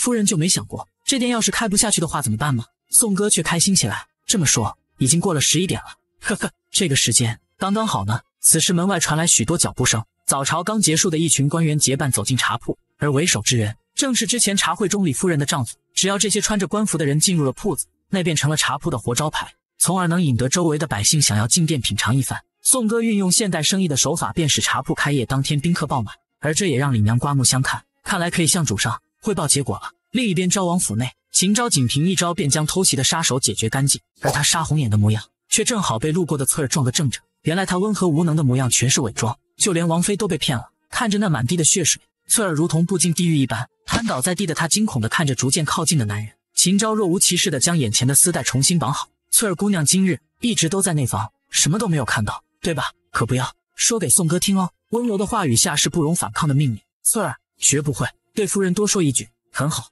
你现在可以回去了。此刻的翠儿已被吓到失魂。呜呜，王爷实在是太可怕了。这时，从李娘那回来的影卫十一来向秦昭汇报结果：茶铺生意很好，夫人一时半会儿没空回府，还请主上放心。男人将手心上的血迹擦拭干净。本王知道了，现在去将这些尸首处理干净。十一闻言一滴汗，他已经记不清这是第几次收拾残局了。这魔教总是时不时的派来一些杀手，也不知道主上到底哪里得罪他们。就在十一拿着铁锹挖坑时，秦昭却再次开口嘱咐：接下来的日子。你的任务便是跟着宋哥，其余的事无需再管。傍晚时分，从铺子里忙活结束的宋哥直接扑进王爷的怀里，而秦昭则一脸宠溺地看着在怀里不断撒娇的女人。怎料宋哥却挽起男人的一缕发丝：“为什么我会闻到一股血腥味呢？”背地里他是杀伐果断的冷面王爷，人前却是温和无能，还经不起撩拨的病弱郎君。可就在他背着妻子处决了一批杀手时，却被妻子发现一丝端倪。这天刚忙完的宋哥直接扑进男人的怀里，各种撒娇，即便他再累。只要和夫君贴贴片刻，就会精神百倍。他将开业赚到的钱给秦昭包了个大大的红包，能被媳妇惦记，这让男人心里乐开了花。可嘴上却说不用，毕竟自己也没帮上什么。不，夫君可是帮了大忙呢。招牌题字、包揽文书还有果茶的配比，这些可全是夫君的功劳。更何况招美人可以将此当成零花钱，买些花草笔墨也是好的。男人羞红到耳根。夫人口中的招美人是谁？我吗？当然，因为夫君长得好看吗？不可以这么叫吗？男人被羞到差点冒烟。也不是不可以，只是未免有些。怎料这时的宋哥却在他的发丝中发现异常，为何会有一股血腥味呢？秦昭闻言瞬间心头一紧，这血腥味是他刚刚杀人时留下的。他立马恢复成常态，大概是因为猪肉的缘故吧。今天开业想来大家会略有疲惫，所以就让翠儿去买了些新鲜的猪肉回来。算算时辰，现在应该快炖好了。这时起身的宋哥便闻到一股肉香，所以这是夫君亲手做的吗？吃货宋哥一脸崇拜的看着男人，被盯到害羞的秦昭轻声回了个恩，被暖到的宋哥激动到不行。天呐，这男人身上还有多少惊喜是我不知道的？很快，一道可口的红烧肉被端上了桌，秦昭宠溺的将肉肉给宋哥夹了一块又一块，喜欢那就多吃些。于是吃成猪的宋哥便瘫坐在椅子上打起了饱嗝。招美人的手艺简直超级哇塞呢！睡觉前。宋哥再次忙起了工作，要想帮助秦昭登上皇位，必须要有足够的财力支撑。宿主是想通过经济的支持帮秦昭进行资本积累吗？突然开口的系统将宋哥吓到失魂。呵呵，他好像忘记自己还有个系统了，因为觉得没啥作用，所以就被他当成了镜子一直搁置着。不过他正好有个疑问，那就是这秦昭无论是身体还是地位，都不该是太子的人选，可为什么还非要他去当这个皇帝？系统则解释，在浩瀚的空间中存在的世界不止一个，而作家写出的每个小说都会衍生出一个小型世界，只是这些小型世界会出现不稳定的情况，一旦实际走向脱离原著，就会有直接崩盘的风险。这部小说，宋哥只看了一半，难道说这里发生的事情和小说里描述的故事产生了偏差，所以才需要穿越者将剧情推回正轨吗？没错，因为您之前阅读的是早期的版本，但小说作者近期进行了魔改，把称王的人。从原来的九皇子秦胜天变成了现在的七皇子秦昭，而这个位面的世界却还在按照之前的剧情发展，导致与魔改后的原著产生偏差，随时都要面临崩塌的危险。所以不管过程如何，结局一定不能脱离原著，这样才能让这个位面的世界存活。宋哥的疑惑终于解开，可是为什么他总觉得哪里不太对劲？没错，这桌上的水果有问题。早上出门前，他明明放了三个梨，可现在盘子里却只剩下两个。他曾嘱咐过翠儿和李娘，没经过他的允许，不可进入书房。因为在这之前，他还丢过桃子，所以今日出门时特意数了一下，看来是有什么人一直跟着我呢。说话间，宋哥便将手中的果子抛向了空中，下一秒就被房梁上的一道黑影稳稳接住。你是怎么发现我的？方才丢水果的推论，您没听明白吗？担心自己与系统对话被听去的宋哥有些心虚，更何况他只是猜测了一下，没想到房梁上还真被他炸出一个人来，以为对方是敌人的宋哥，将手悄悄伸向旁边装有飞镖的盒子，下一秒。就被飞来的匕首挡住去路。宋哥被这突如其来的举动惊出一身冷汗。要是这匕首对准的是自己，怕是早就没命了。不许动，不许叫。若是被主上发现我暴露了，肯定要被责罚。单纯的十一一边说着，一边擦着果子，可心里却在纳闷：这女人刚刚是在对着镜子自言自语吗？看到对方还是孩童模样的宋哥一滴汗。你口中说的主上是谁？主上当然就是秦昭王爷，而我十一是王爷从苍穹宫带来京城的下属。不对，好像跑题了。我要说的是，这梨和桃子不是我偷的。你可别冤枉人。作为影卫，那都是很有职业素养的，在工作时间是绝不会乱吃东西。真的吗？可你看起来明明还是个贪嘴的年纪。小十一见自己被质疑，瞬间炸了。十一已经不小了，年后十五岁就能娶媳妇了。呵呵，这孩子套他话可真容易。所以你是王爷派来跟踪我的？当然不是，主上让我跟着，是为了保护夫人的安全。虽然不知道王爷为何要偷偷摸摸对人好，但还请您不要同主上说起今天的事情。宋哥一脸贼笑，帮你保密有什么好处？十一可以保证。不会将夫人在店里同男客人搂搂抱抱的事情说出去。我靠，这瓜娃子好阴险！成交，成交！被强行降智的宋哥无语至极。可眼下的问题是，这偷走水果的人究竟是谁呢？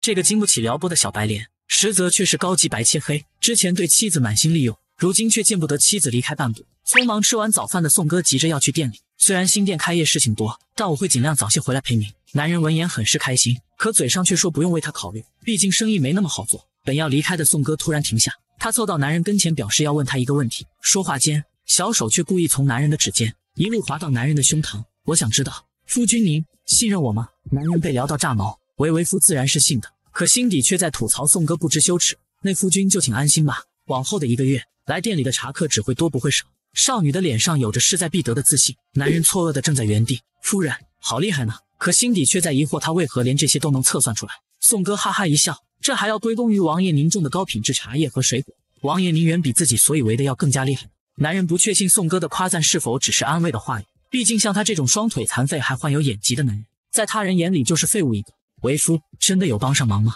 当然。宋哥的语气很是坚定。等茶楼稳定后，咱们还要考虑下继位的事呢。怎料男人却突然将他拉住。那夫人若是觉得为夫能派上用场，可以让为夫陪着夫人一起去茶楼吗？然而宋哥却担心茶楼人多口杂说王爷的闲话。可秦昭却表示自己不会介意这些，毕竟只是在夫人的店里坐坐，即便被大家认出也没什么不对。秦昭主动伸出双手将宋哥握住。身为戏精白莲的他知道，这样的自己，他宋哥根本无法拒绝。果然，下一秒宋哥就被他迷得失了魂。并答应会带着他一起，没想到这秦昭霸道的样子这么可，合着是不打算用隐卫，准备亲自上阵了吗？宋哥突然俯下身，夫君刚刚有句话说错了，你要去的不是夫人的店，而是咱家的店。一句话让男人内心突然泛起一阵涟漪。为夫非常喜欢“咱家”这个词。来到茶铺后，宋哥特地端来一碗酒酿汤圆让秦昭品尝，这可是今日的招牌，非常畅销，再晚一会兴许你就吃不到了。秦昭不解。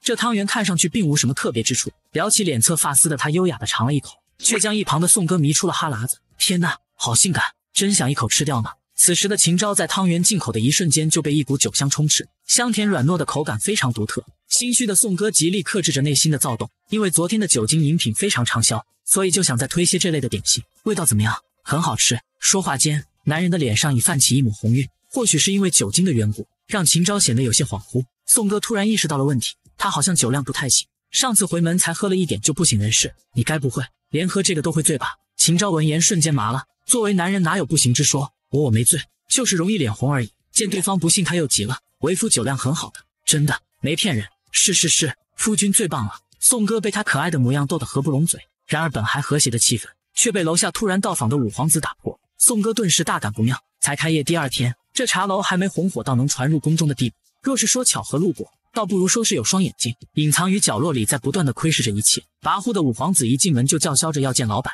而他的出现瞬间引起周围人群的骚动。这五皇子来了，咱们是不是要先起来行礼呢？好在宋哥及时出现，真是贵客呀！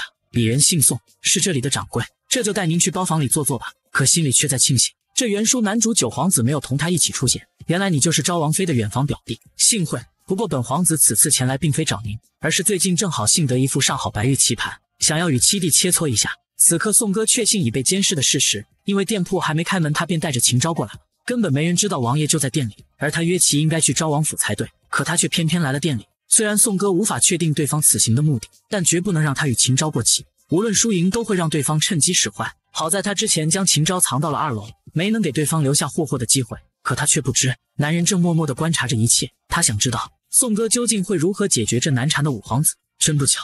王爷他喝了不少果酒，醉得厉害，恐怕没法陪您，不如小人斗胆陪您玩上一局如何？五皇子一把搂过宋哥，若是单单下棋，那也太无聊了，不如咱们定个赌注吧。若是你输了，那就……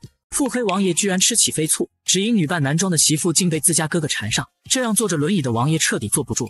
就在刚刚，上门找茬的五皇子决定和宋哥打赌，若是宋哥与他下棋输了，那这间茶铺就要改为他五爷的名字。宋哥呵呵一笑。若小人败北更换牌匾没有问题，但若输的人是殿下您，那又该付出什么呢？五皇子闻言瞬间怒了。要知道，在这京城，他的棋艺可是数一数二的，本皇子绝不可能会输。若是输了，爷就在大门口学狗叫，等爷赢了你，就让你这破店彻底关门。强颜欢笑的宋哥一阵无语，明明该生气的是我才对。不过这自愿当狗的皇亲国戚倒挺新鲜。然而两人的对战却为宋哥的铺子招来不少看客。看着不断涌入的人群，宋哥内心一阵窃喜。这五皇子虽然跋扈，但却是个不错的宣传。经此一役，想必那些原本还在观望的客人也会对茶铺产生好奇了。随着一阵悦耳的琴音比拼正式开始，没想到你这破店还有专门的乐师，真是有趣的很。面对五皇子的调侃，宋哥则是一笑而过，因为他知道这是秦昭用音乐在为他加油打气。我的昭田心儿简直太让人稀罕了，等对战结束后，定要好好犒劳他呢。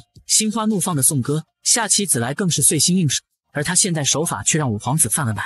他钻研棋艺多年，却完全看不出对方师从哪位名家。棋路目无章法，但每步之间又环环相扣，像似一张无形的巨网引他入局。不等他反应，宋哥再次落下一枚黑子，而这一步却让五皇子震惊无比。之前那些看似废棋的弃子，竟然全被连起来了。眼看宋哥占了上风，五皇子开始坐不住了。不再轻敌的他决定要扳回局面，终于开始认真对待了呢。虽然他围棋水平不低，但终究无法比过现代一棋手法。此时在楼上弹琴的秦昭虽然没有现场观看局势，但能和五哥对战这么久还没结束，说明宋哥同样擅长此役。我的好夫人，你究竟还有多少惊喜是我不知道的呢？只是他现在有些困惑，这背后窥视王府的人究竟是谁？甚至还故意偷走水果留下把柄。这时探查回来的十一前来复命，主上，您要属下查的事情似乎有些眉目，虽未能查到暗中监视的人，但却打听到唐门最近在寻人，似乎是有家族小辈偷偷跑了出来。秦昭没料到会在这时听到唐门的消息，他深知这唐门是个从不以真面目示人的暗杀家族，而十一觉得能让主上都无法察觉到身法的家族少之又少，所以他怀疑此事和唐门有关，但没有证据之前也只是猜测。慎重考虑之后，秦昭担心这一切只是巧合，于是命十一继续调查。此时楼下的比拼已经进入到白热化阶段，五皇子的每次下子都越发的紧张。如今自己每走一步，都好像在他的算计之中，而对方不仅游刃有余，甚至还可以下几个废子，故意嘲讽一番。要赢就赢干脆点，如此猫捉耗子的下法有意思吗？宋哥无辜的摆摆手，小的没有呢，是五爷棋艺精湛，小的也是拼尽全力才招架住的呢。五皇子被气到不行，宋哥却笑嘻嘻的递过一杯酒水，看你把我紧张的都口渴了，不如五爷也喝点吧。顿时感觉口燥的五皇子接过杯子，然而新奇的口感瞬间打开他的味蕾。是酒与柑橘的味道，其中还混杂了些细小的颗粒。这是菊桃酒哦，里面加的是蜜桃果肉，口感不错吧？不对不对，差点被他带偏。他明明是受九弟点拨，特地来此查七弟与魔教勾结的证据，结果不但没见到任何魔教人士，还被个小掌柜打得落花流水。虽然是自己找茬在先，可这家伙着实可恶，现在居然又被喂了一口废气。若是走隔壁的话，对方肯定稳赢。可恶，这家伙究竟想要干嘛？见时机成熟，宋哥决定借此机会拿下五皇子。殿下。不如咱们再加个赌注如何？五皇子闻言瞬间充满警惕，他该不会是想趁火打劫吧？怎料对方提出的竟是何棋的赌注，他居然想要逼平这盘棋。这小子明明有机会赢，却故意提出何棋的赌注。可若是自己输了，那学狗叫的事必定会传到父皇那。所以何棋是目前最好的办法。咱们不打不相识，都是可敬的对手。如若是不分胜负，小人愿意为五爷奉上一张终身免费会员卡作为交朋友的诚意。拥有此卡，您可以像在自己店里一般畅享无阻。但相对的。小的也有件事想要请五爷帮忙呢。听到这，五皇子不禁思索：若他真是魔教中人，回避朝廷都来不及，又怎会如此坦荡的招待？看来是九弟多虑了。秦昭看中的不过是七弟的经商才华罢了。你想让我帮什么？看到对方上钩，宋哥说出自己的想法：殿下应该知道，我姐夫昭王出身江湖，平时吃惯了粗茶淡饭，口味多少缺乏一些贵族之气。但小的做生意自然希望能更上一层，那么则需要有一位高雅之人帮助小的品鉴茶点。不知此事五爷可愿意？因为宋哥心里清楚，书中的五皇子从小便是不受宠中的一个，就连生母也会嫌弃他是个只会下棋的废物。而一心想要证明自己的他，却被九皇子利用。而他现在要做的，就是先表明自己毫无恶意，让其放松警惕，再使出压倒性的实力，随后故意让子求和，表明忠心，然后说出他最在意的那句话。宋某觉得围棋也是非常高雅的事物，棋盘犹如战场，而您是最英明的王者，理应带领您的天下做出最为英明的决定。您说是吧？转眼间。本还到处找茬的五皇子开始沉迷于在美食中挑刺，什么芝麻糕不够细腻，果酒品类单一，俨然一副老板模样。这可把身后的秦昭气到不行。他捂嘴轻声询问宋哥：“你确信这样真的好吗？”比起被九皇子当枪使，宋哥觉得这样挺好，至少他今天给茶铺引来了不少食客。怎料秦昭突然拉住他的手心：“今日让夫人费心了，夫人一定很累吧？”突然的关怀害得宋哥一阵心悸。不行不行，现在可是穿着男装，要是被人看出来，可就完犊子了。宋哥猛地将手抽回。还好还好，还得感谢五爷，他高抬贵手。说罢，便瞬移到还在狼吞虎咽的五皇子跟前，与其道谢。却不知某人的脸已黑成了炭。你无需叫我五爷，既然是秦昭的七弟，那便唤我五哥吧。当听到宋哥毕恭毕敬的唤了声五哥后，全程黑着个脸的秦昭便自个推着扭扭车来到二人跟前。五哥，您来这是找贤弟一齐的吧？现在贤弟已经醒酒，不如下两盘吧。五皇子瞬间懵逼，为何感觉今日的七弟有点可怕呢？此时门外的某个角落，是一名手握水果的蒙面男子。就在他咬上水果的那一刹那，又有一道黑影落在他的上方。当两人对视后，他却伸出细长的指尖，比划在唇边。而另一边，原书男主找到五皇子询问今日的情况，男人一脸心虚，表示没有发现魔教人士。那秦昭被我血虐，也没见有帮手出来呢。可实际上，一把没赢的他，即便是死，也要将此事带进棺材。少女本以为自己是唯一的穿越者，就在他努力完成任务时，却有其他穿越者突然出现，甚至连等级都比他高出几倍。而对方的身份究竟是敌还是友？就在刚刚，准备参加诗词会的宋哥才知道，皇子携带的女眷只能坐在外围。只因皇帝对等级之事尤为在意，对此秦昭倍感抱歉。只为权贵准备的诗会，或许会让夫人有些无聊。宋哥表示无碍，何况原著中的秋词会也没什么特别事件，而眼下的资本积累远远不够，还不如安稳的过完这场戏。听到这，男人的眼眸逐渐暗淡，难道在他心里，与自己的一切都只是场戏吗？来到皇宫后，宋哥新奇的参观着宫内的美景，虽自己的位置离秦昭有些距离。但好在还能看得见。为了让傻王妃的形象深入人心，他故意朝王爷的方向连连挥手。傻缺的五皇子以为是在召唤自己。九皇子一滴汗，五哥会错意了。那个区域应该是嫂子在和七哥打招呼。只见宋哥疯狂地发射着爱心炮弹，将痴情王妃演绎的淋漓尽致。秦昭则一脸羞涩的摆手回应。一番骚操作后，宋哥心满意足地坐回位置，准备开始摸鱼。怎料一旁的女子突然低语抱怨：“这古代的茶会也就这样吗？真没劲。”宋哥闻声望去，他居然说古代。难道他也是？只见少女一直东张西望着，这男主角到底在哪？若是不帅，可配不上人家呢。这时他又突然对着手边的蝴蝶轻语：“我知道，若要阻止九皇子称王，就一定要让他爱我爱的死去活来，什么都愿意为我做。一般小说都是这么写的。”听到这，宋哥一阵无语。这小姑娘看的小说有点古早了，看来她应该也是个穿越者，否则也不会说出这些话。而那蝴蝶想必就是她的系统。她刚刚说要阻止九皇子称王，或许可以与其合作一番。此时，少女突然浮现出势在必得的自信。虽然我苏白婉是新入宫的嫔妃，还未得过圣宠，但人家可是被蝴蝶环绕的天命之女，随便背点古诗词，定会让皇子们为我倾倒。宋哥闻言瞬间麻了，我靠，这丫头她想干嘛？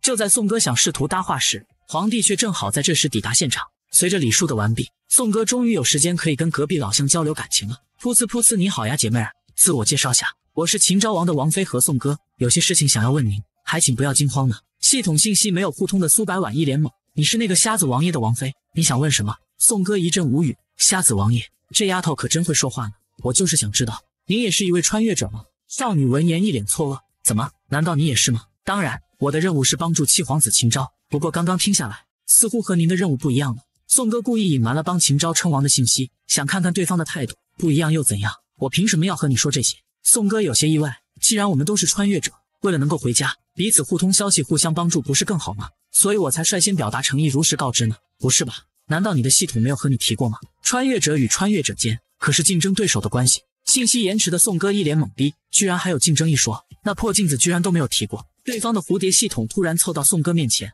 原来你拥有的是镜子系统。那家伙明明等级那么低，居然敢给你接这么高级的任务。小婉，你无需与低等宿主浪费口舌，只需专心完成你的任务就行。苏白婉应声点头。宋哥则瞬间无语，这系统之间居然也存在鄙视链。可宋哥有些不解，明明能合作共赢，为什么还要这样？那是因为系统之间要划分功绩点，从而决定积分的高低。更何况每个系统的喜好与手段不同。而今日需要让小婉在秋瓷会上大放光彩，令皇帝以及所有皇子为之倾倒的任务，你可别动脑筋想要来分杯羹。宋哥欲言又止，这想法不要太离谱，怕是古早万人迷文看多了吧？他好心提醒对方，这皇帝一向不喜外围女眷参与对诗，太耀眼的话会适得其反的。怎料对方不仅不领情，还指责宋哥有男尊女卑的老派思想。作为女子，为何不能展示才华？现代人就该有现代人的思想开花。而你的想法真是让人有点恶心呢。等等，他没病吧？居然说我思想封建，到底是低等系统选的宿主，哪哪都不行啊！而我要向世人证明，即便是女子也能拥有抱负和才学。宋哥瞬间无比抓狂，鸡同鸭讲，简直无法沟通。这丫头绝对低套路文看的太多，被洗脑洗的魔怔了，把自己当成天选的女主角了。也罢，万一人家拥有金手指呢？再劝就着实显得过了。归根到底，人类或许就是这样的生物，明明能合作共赢，却非要争斗不休。无论是男人与男人之间，还是女人与女人之间，亦或是男女之间，都是一样。就在所有皇子完成作诗，由皇帝举办的秋瓷会接近尾声时，苏白婉却突然伸手示意臣妾闲来无事，一时兴起做了首诗，不知可否于此献丑。而此举却让一旁的宋歌坐立不安。少女穿越又遇其他穿越者。然而，对方不仅拥有高级系统，甚至还将自己视为敌对关系。同样身为穿越者，宋歌则好心提醒对方莫要强行出头。可苏白婉为了能获取在场所有男者的青睐，成为主角，竟不顾皇帝的忌讳，贸然起身展示才华。而此举瞬间引来众多男宾的嘲讽，真是笑话。他一个新入宫的嫔妃也会作诗，而皇上显然没认出她是谁。在得知她身生香气能引来蝴蝶的妃子后，便让她暂且一试。苏白婉内心一阵窃喜。并认为宋哥的提醒是故意没安好心，不过是见不得他成为众人的焦点罢了。于是他将课本里学到的小诗背了出来：“小荷才露尖尖角，早有蜻蜓立上头。”众皇子一听，感觉这诗倒是有点意思。苏白婉内心一阵得意，自己选的可是杨万里先生的诗，当然不错了。怎料皇帝却并未买账。此时为早秋，荷花多已衰败，稍许有些不合时宜，还能再做首其他的吗？苏白婉嘴上说着可以，可内心早已慌到不行。他悄咪咪的让蝴蝶系统帮忙搜索相关诗词。随后便展示了一首《钱塘湖春行》，一旁的宋哥为其捏了把汗。这丫头似乎没能理解皇帝的言下之意呢。果然，皇帝脸色沉了几分。不知爱妃诗中提到的孤山寺和贾亭是位于何处呢？身为学渣的苏白婉瞬间心头一紧，只能再次求助系统帮忙搜索位置。然而宋哥却再清楚不过了。这孤山寺和贾亭都是杭州西湖的名胜，可他们现在是处于一个完全架空的时代，根本就不存在此地名。若是他说了个连皇帝都没听过的地方，恐怕会被当成意欲潜入的奸细，那结果恐怕不堪设想。于是宋哥取出丝巾，准备提醒对方。他故作不适的咳了两声，示意他看下自己桌上的字。与此同时，搜索到的系统告诉苏白婉，答案就是杭州。可经过宋哥的提醒后，苏白婉意识到这个世界根本没有这个地方，于是他便按着宋哥的提醒，说是自己是在梦境中见过。因幼时就常幻想着宫中的模样，觉得皇宫犹如人间仙境般广阔。皇帝闻言瞬间开怀大笑，好一个人间仙境！可就在两人以为危机解除时，皇帝却突然让新科状元对苏白婉的诗进行评价。毕竟张大人是公认的文采斐然，想必定能给苏菲一个满意的答复。男人礼貌上前，表示苏菲的两首诗非常精彩，寥寥几句便能道尽春意盎然之景。听到赞美的苏白婉两眼发光，看来是成功了呢。可宋哥却意识到问题，果然下一秒。男人直接来了个急转弯。不过女子终究是女子，这两首诗的词句之间缺乏大气，与诸位皇子的诗词相比，到底还是相差甚远。苏白婉闻言一脸错愕，她不明白对方为何要如此评价。嫔妃做事不易，理应鼓励。只是这诗，依臣所见，难登大雅之堂。此话一出，众人再次纷纷嘲讽。我就说那小嫔妃的诗不行吧，哈哈哈！皇帝嘴角微扬，十分满意。朝堂乃是非常严肃的地方，怎能容得女子智慧？此时此刻，苏白婉的心彻底沉入谷底。所有人都在疯狂的嘲笑，就连刚刚还在夸赞他的皇子们，也纷纷露出丑恶的嘴脸。而这一切同样恶心到宋哥。这些只会阿谀奉承的杂碎，真是令人作呕啊！被无尽讥讽与嘲笑的苏白婉瘫软在地。我用的可是名诗，没道理不被赏识啊！宋哥端起茶水，一声冷笑。苏白婉见状，瞬间怒了：“你笑什么？看我出丑，你很开心是吧？你觉得要让那些自诩经纶满腹的身居高位者，去承认自己不如个新入宫的嫔妃有才学，是个容易的事吗？”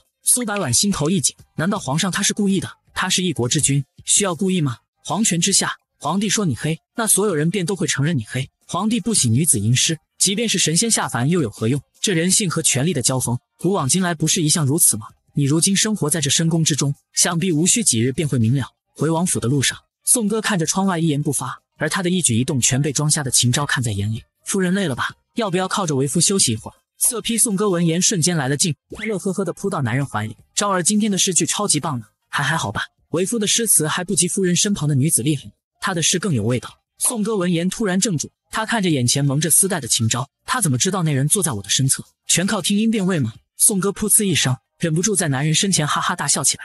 懵逼的秦昭一脸懵逼，夫人为何忽然这么开心？此时的宋哥笑出了眼泪，有趣，真的好有趣呢。虽然说我在的那个世界没有多好。但显然这个世界要更加的烂。说罢，宋哥的小手又开始不安分起来。这么烂的地方，着实配不上如此美好的夫君您。所以，让我们一起改变他吧。纯情不惊妖的王爷又又又害羞了，只因女扮男装的媳妇居然主动向他索吻，这下男人彻底遭不住了，只能硬着头皮吻了上去。就在刚刚，坐着扭扭车回房的秦昭就看见媳妇翻箱倒柜的在找东西。可当他刚凑到媳妇跟前，宋哥便吧唧一下坐在他的靠背上。男人一脸羞涩的别过脸颊，夫人。找这些旧物做什么？因为我需要找些值钱的东西。原来白天宋哥刚到铺子里，便得知隔壁有人也开了间茶果铺子，不仅菜品相似，就连价格也比宋哥优惠很多。然而更过分的是，对方居然与房东勾结，承诺以原房租的五倍价格租下宋哥的铺子。面对上门赶人的房东，宋哥一眼便明了是怎么回事。如今自己茶铺的名声已在，只要保持，就会有源源不断的客人来往。而他钱老板想要的，不仅仅只是这间屋子，还有这的装修、名声、客流以及果茶铺的完全垄断。可即便宋哥猜中又如何？作为房东先生，看中的无非是谁能给更多的房租罢了。于是他毫不客气地催促宋哥明日必须搬离。怎料宋哥却很淡定，并给出了一个让其无法拒绝的提议。所以眼下的宋哥需要钱，需要找到之前皇帝御赐的凤冠。听到这，秦昭倍感抱歉，自己虽是个王爷，却不被任何人看在眼里。若是为夫能有更多的权力和威慑，那么夫人便不会被那些人欺负了。可宋哥却并不在意这些。或许王爷还不知，正是因为能同名结姻，我才有机会带走这皇上御赐的珍宝。看到凤冠穗的秦昭不解，夫人之前不是将此与嫁妆一同给了何家了吗？宋哥一个弹跳稳稳落地，这是之前婚礼时绊倒摔掉的那一小块。而何家因担心被降罪没有声张，于是我便悄悄留了下来，以备不时之需。没想到今日正好可以用来救急。听到这，秦昭故意问宋哥是不是想用这个与房东谈更高价的房租，宋哥却直接否认。若我继续抬价，只会落入无用的消耗。况且房东大概率会选择与其中一方结盟，故意去套牢另一边的钱财。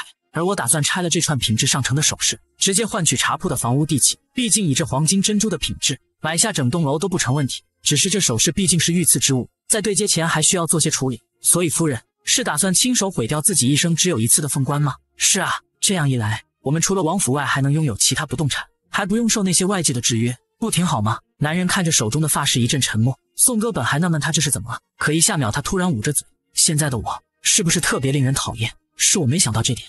毕竟凤冠是您父亲赏赐的，臣妾之前不仅给了何家，甚至还私藏部分打算卖掉，真是连生而为人的基本道德都没有。”秦昭连连摆手，表示自己没这么想过。真抱歉，但臣妾就是这样的人。之前王爷曾问过，穿越前的我是什么模样吗？大抵就是您现在看到的这般冷漠、势利，又喜欢利用别人的人。那时的他为了拿下生意不择手段，被周围的人畏惧。独来独往的他早已看尽人间冷暖，所以即便王爷您感到失望也理所当然。只是我这性格怕是改不了了，真是抱歉。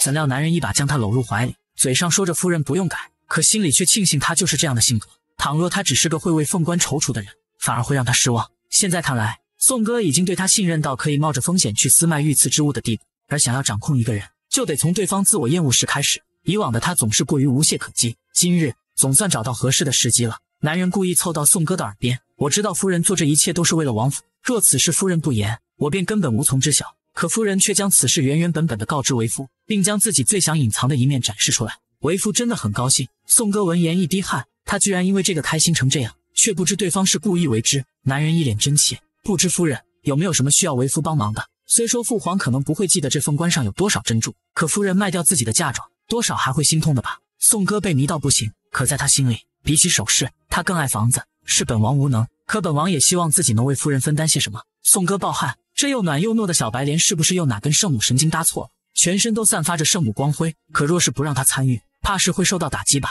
此时此刻的二人各有各的心眼，男人心想着自己回京的目的与宋哥想做的任务相同，如今矜持的够久了，是该找个机会同意他之前提的继位仪式。而宋哥觉得自己一人就能搞定，便想随便找个事情搪塞过去。但若想让秦昭知难而退，并乖乖被调戏的法子，只有那一个。于是宋哥缓缓凑到男人跟前，若是夫君有心又不讨厌臣妾，那臣妾可以拥有您的吻吗？说完，宋哥便开始幻想着男人因害羞而仓皇逃离的模样。毕竟结婚到现在都还没有任何亲密举动，想必他一定是不喜欢这类行为。果然，下一秒秦昭便一脸娇羞的别过脸颊，支支吾吾半天都说不出个完整的话。他在心里一阵吐槽：这女人不害臊吗？即便没感情也能做这种事吗？她到底是有多喜欢酱酱娘娘？可若是自己这时拒绝，那之前铺垫好的一切就没用了。一番挣扎后，男人的脸越来越红。夫人多虑了，你可是我的妻子呢。话音刚落，男人便主动将宋哥稳住。失策的宋哥心头一紧，不是吧，不是吧，他居然来真的。然而男人接下来的举动，却让他整个人都要疯了。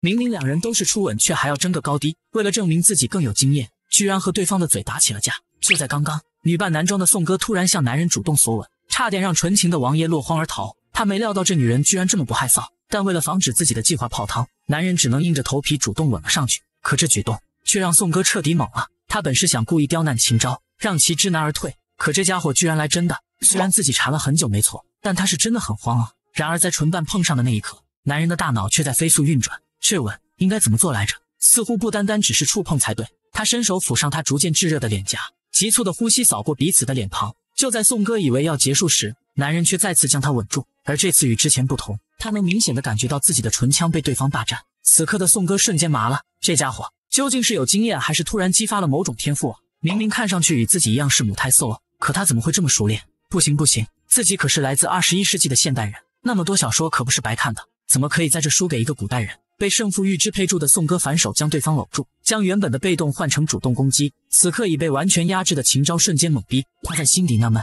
这女人到底怎么回事？之前不是说要他来亲她吗？怎么现在却反过来了？这突来的攻势让男人心慌不已，他纠结自己是不是该让出主动权讨她欢心。可转念一想，自己毕竟是个男人，怎么可以在这件事情上落为下风？于是谁也不愿服输的二人就这样和对方的嘴打起了架。不知过了多久，差点窒息身亡的二人这才结束了比拼。羞红脸的两人同时背过身，不敢与对方直视。秦昭连忙擦拭掉自己嘴角的口水。苍天啊，自己刚刚居然连矜持都不顾了。这时他突然发觉自己的嘴中有股特别的味道，他冷不丁的转身询问宋哥。夫人之前吃了什么？有股香香甜甜的味道呢。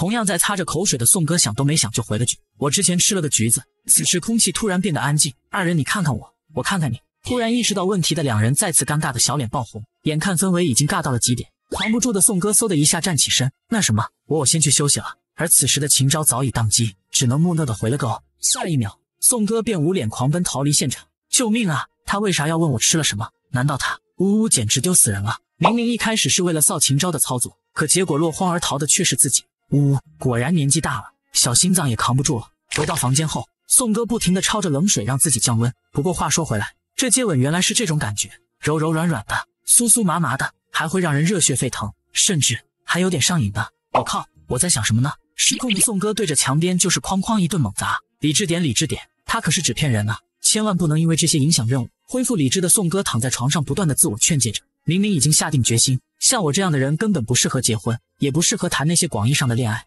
而现在不过是战术联姻罢了。只要搞定任务，就能回到现代了吧？然而，当他进入梦乡后，男人却推着扭扭车悄悄来到他的身边。他默默地看着正在熟睡的女人，嘴角竟不自觉地微微上扬。不知为何，哪怕只是这样静静地看着他，他的心情都会莫名的愉悦。他将屋内仅有的烛光轻轻吹灭，随后慢慢凑到媳妇跟前，看着呼呼大睡、没任何情绪波动的宋哥，他忽然又很不是滋味。为什么他可以如此淡定？难道对你而言，这也是一场戏吗？次日清晨，宋哥一睁眼。就看到那个昨日与自己疯狂打啵的男人，为了控制住自己内心的躁动，于是他决定与帅气王爷疯狂打啵后，花痴少女彻底遭不住了。为了防止失控做出过分的事，他甚至有了想要分床睡的想法。可面对这么粘人的夫君，他又不知如何开口，只能趁对方没醒，灰溜溜的起身来到铺子里干活。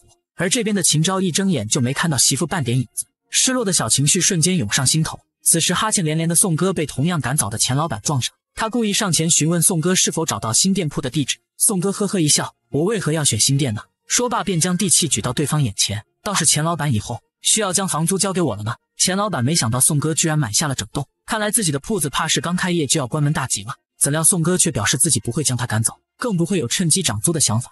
钱老板被整得一头雾水。宋老板有话直说吧，你到底想要做什么？宋某知道钱老板是个聪明人，眼下有个你我共赢的法子，而我称它为连锁店政策。宋哥将现代的连锁店理念与其解释了一番。而他深知以钱老板的能力，肯定不满足于眼前这一家店铺。有了这个政策，他便可以在极短的时间内随意开设其他分铺，而他宋哥只需要分得纯利润的百分之十。当宋哥成功拿下钱老板后，昭王府资产翻三倍的任务已基本完成。随后他又回到铺子里开始选拔店长，毕竟他还有其他任务不能在店里久坐。当处理完一堆事务后，宋哥才发现夜色已深，戴了一天假笑面具的他身心俱疲，这还是有史以来第一次这么晚回家。不知道那秦昭会不会担心自己？不行不行。不能再将他当成虚拟男友，自己早晚都是要回到现代的，必须找个时机与他说明，不是他想始乱终弃，而是他根本没有办法谈这场恋爱。这时身后突然传来一阵刀剑声，只见一名白发男子被一群杀手追击，而这些人的样貌特征似乎是书中提到过的杀手世家唐门，而唐门这个组织在小说里一直都充当各方势力所雇佣的耳目与刺客，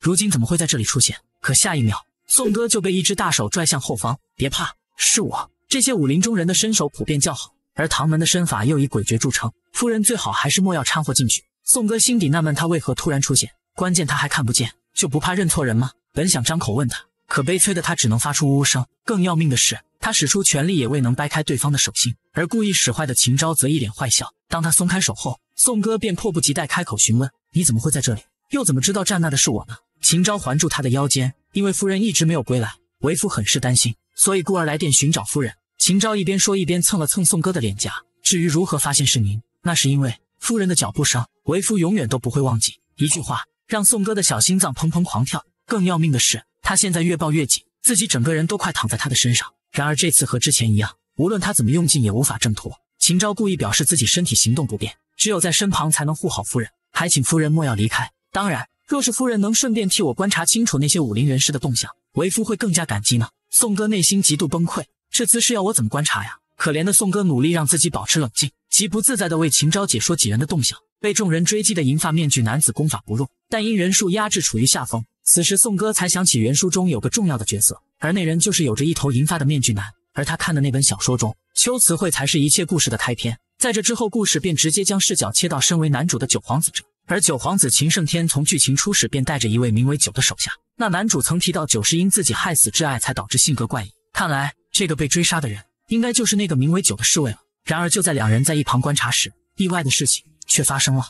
庄家的王爷又被媳妇臊到脸红心跳，想要休息的他刚取下眼前的丝带，就发现媳妇露着洁白的后背躺在床上。秦昭傻眼了，他这是想要做什么？而刚沐浴结束的宋哥浑身充满倦意，这几天太累了，肩膀好酸好酸，不如夫君帮我按两下吧。秦昭瞬间惊出一身冷汗，慌乱的他推着扭扭车连连后退。为为为夫，为夫并并不擅长这些的。不知道对方能看见的宋哥表示无碍，随便按两下就行。秦昭没辙，只能闭上双眼，抖抖嗖嗖的凑了过去。舒适的按摩让宋哥很是享受。没想到这家伙的手法这么好，却不知他身后的男人早已处在崩溃的边缘。我八成是脑子瓦特了，才会要装成盲人。苍天啊，谁来救救我呀！片刻后，本已睡下的宋哥突然坐起身，他有些好奇的打量着眼前的秦昭。书中说，秦昭是因为寒毒才导致双腿失去了知觉，所以才导致他其他的腿无法人道。虽然现在只是单纯的舍友关系，也没打算发展出真正的夫妻关系，但是他真的真的非常好奇呢。此刻装睡的秦昭突然感觉背脊一阵发凉，他究竟想要干嘛？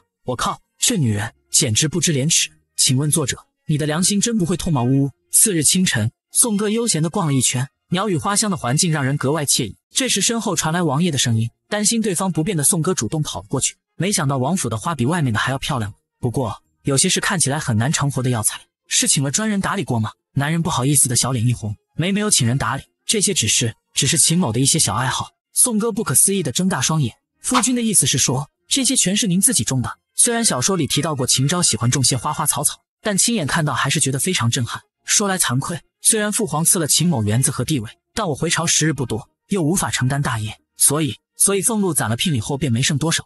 宋哥震惊无比，他该不是天天都是自己收拾这么大的王府吧？等等，堂堂王府，该不是除了咱俩外，就只剩李娘和翠儿了吧？男人闻言瞬间僵住，他有些羞愧的低下了头，真抱歉，为夫很穷。然而他委屈的模样却直接可爱到宋哥的心坎里，他强忍着内心的躁动，表示无碍，能一直过二人世界也挺好的。这时，一旁的果树引起宋哥的注意，这也是您种的吗？看起来似乎已经成熟了呢。夫人想要尝尝吗？宋哥下意识的摇了摇头，树太高了。还是等拿了梯子来再说吧。男人抬起俊俏的脸庞，闻了闻果子的气味，无妨，为夫可以为夫人摘下果子。还没等宋哥反应，秦昭便借用手臂的力量，直接一个飞身将果子稳稳握住。被帅到的宋哥看呆在原地，直到男人稳稳落下后，这才回过神。不是吧？您会飞？难道腿能动了吗？仅靠嗅觉就能闻到果子的位置？面对宋哥一连串的疑问，秦昭却只是淡定的为他擦拭着果子。轻功而已，秦某的功夫还是不错的，只是不能行走罢了。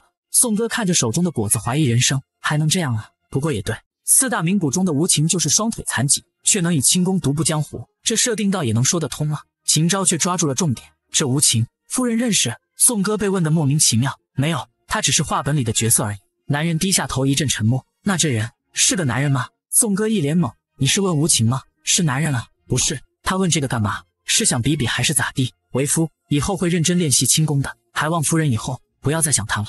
一句话直接惊掉宋哥手中的果子。那个夫君该不是在吃醋吧？男人故作无事，没有，我就是随便问问。看着小脸越来越红的秦昭，宋哥一脸贼笑，他居然跟纸片人吃醋。不过他秦昭对我而言，似乎也跟纸片人差不多呢。此刻的宋哥忍不住想要调戏一番，他故意坐到轮椅的扶手上，一脸玩味的看着对方。若是臣妾真的变心了，想要离开，您会怎么做呢？男人闻言瞬间慌了，随后一把将宋哥搂入怀里。不行，夫人不能抛弃我，为夫好不容易，好不容易才遇到你的呢。宋哥心底庆幸，他没有说娶了你，你就只能是我的这类令人厌烦的话，而他现在反而像是在请求，真是让人打从心底怜惜呢。他主动将对方揽入怀中，真抱歉，宋哥不该跟您说这种话。放心吧，我不会走的，宋哥会一直陪着王爷，直到王爷您不再需要宋哥。秦某怎么会不需要夫人？秦某愿意将自己的一切都给夫人，只求夫人您不嫌弃。宋哥突然伸手抚上她的唇边，将她打住，温润柔软的触感令人痴迷。没想到这光天化日吃豆腐的感觉真爽啊！夫君多虑了，宋哥不需要您的一切。宋哥想要的只是，每当我想吃果子时，夫君能帮忙摘下来就可以了呢。为了帮助男配成为天下之主，少女决定抢走男主的得力助手，而她的举动却让某人的情绪波动到极点。就在刚刚，准备回家的二人却撞上唐门少主被人追杀。原来唐门的老门主突然离世，副门主便想铲除即将继位的少主篡权。就在二人以为对方即将死于刀下时，一名女子突然横到男人跟前，将其救下。而他的身手似乎不错。当解决近身的几人后，便带着男人迅速逃离。可杀手们仍紧追不舍地跟在后面。宋哥连忙起身：“咱们得赶紧跟上。”被一路推着的秦昭不解：“夫人为何如此激动？莫非和之前提到的画本剧情有关？”不知道对方是在故意套话的。宋哥解释：“这人是书中的关键人物，还是之前疯狂坑你、杀害你未婚妻的九皇子的人？而您眼中的九皇子远远没有表面上展现出的那般无害。毕竟现在主线剧情已经开始。”宋哥觉得多少应该透露些消息给他，免得这个小白脸总是吃亏。不会的，九弟他平时很照顾我的，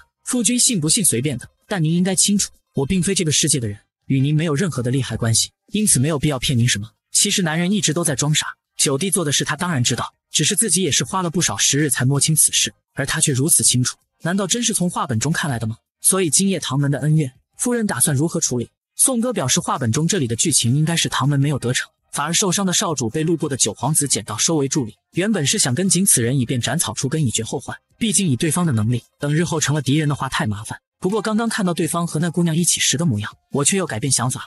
能令小说中如石头般冷硬的暗杀狂魔露出如此人性化的表情，除了文中后面提到的那位死去的挚爱，应该不会再有旁人了。或许是同夫君相处久了，臣妾如今也染上了心慈手软的毛病。当然，我也想知道，通过恋情。是否能改变一个人的一生？宋哥沿着对方受伤留下的血迹一路推着秦昭，可眼下血迹却在这时消失。那银发男子伤势不轻，照理说不可能会突然止血。宋哥幻想着负伤男子被抱起的画面，毕竟只有这样才不会让血水流到地上。秦昭通过灵敏的嗅觉闻到了方位，并让宋哥往北边的方向走。此时的宋哥全身的神经都在紧绷，那些唐门的刺客同样不见踪影，估计是在分散寻找目标。若是不小心与他们撞上，那就不妙了。虽然秦昭自幼习武，可如今因身体不便，也只能用些不需要腿的招式。若真是碰上，肯定难敌那些杀手。宋哥突然停下，倍感抱歉，此事全由我好奇心引起，没必要让夫君与我一同犯险。夫君先在此处安全去休息，等我解决好后再来与您会合。不行，方才为夫说过，我们要一直一起，不可以分开。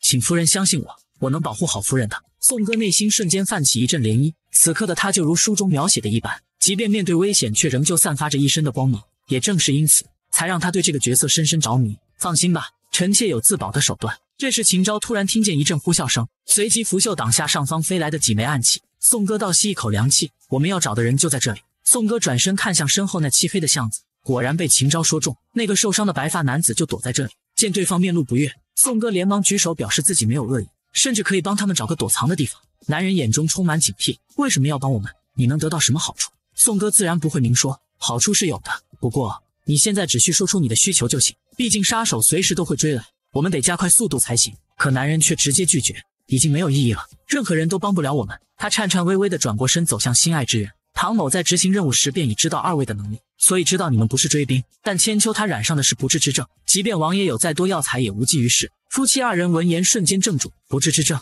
执行任务。其实我观察王府已经很久了，也羡慕你们二人的生活，可惜羡慕终究只是羡慕，要怪就怪我自己太弱小了。不仅无法解决自己的事，还害他连最后的日子都被搅得不得安宁。听到这，宋哥才意识到他就是之前那个监视王府的偷梨贼。这时，秦昭问他口中的绝症是指什么？男人沉默片刻，随后开口表示是断肠痈。此时，女人不断呢喃着好痛好痛，豆粒般大的汗珠不断落下。男人轻柔地拍着女人的肩膀，安抚着：“不痛了，不痛了，睡着就好了。”他的眼中满是自责，或许这就是报应吧。干的坏事多了，就会被抢走自己在意的一切。宋哥虽然还有很多疑问，但眼下还是救人要紧。他悄悄地询问秦昭：“这段长痈是什么？为何说无药可医？就连他这秦王圣手也不行吗？”秦昭解释：“此病会导致右下腹疼痛，且会伴随时间逐渐加重，从而导致患者昏厥或者死亡。”宋哥听着秦昭的叙述后，总觉得有些耳熟。难道这个病是？只因男人吃了一缸子醋无处发泄，于是他便拉着媳妇和他的嘴打起了架。这操作让宋哥直接傻眼了。就在刚刚，宋哥通过秦昭叙述的症状推断出，那少女所得的不治之症应该就是阑尾炎，而这个病症。若是在现代，只需一场简单的手术便能治愈。为了能够救活那名女子，秦昭让宋哥多讲讲手术的细节，而他或许可以尝试一下。宋哥有些惊讶，他没料到这秦昭敢碰从前完全没有了解过的西陵。秦某不能保证能一定将他救活，但若不尝试一番，那便连最后的一丝希望都没有。你觉得呢，堂上门主？男人一阵沉默。此时此刻，他确实别无他法。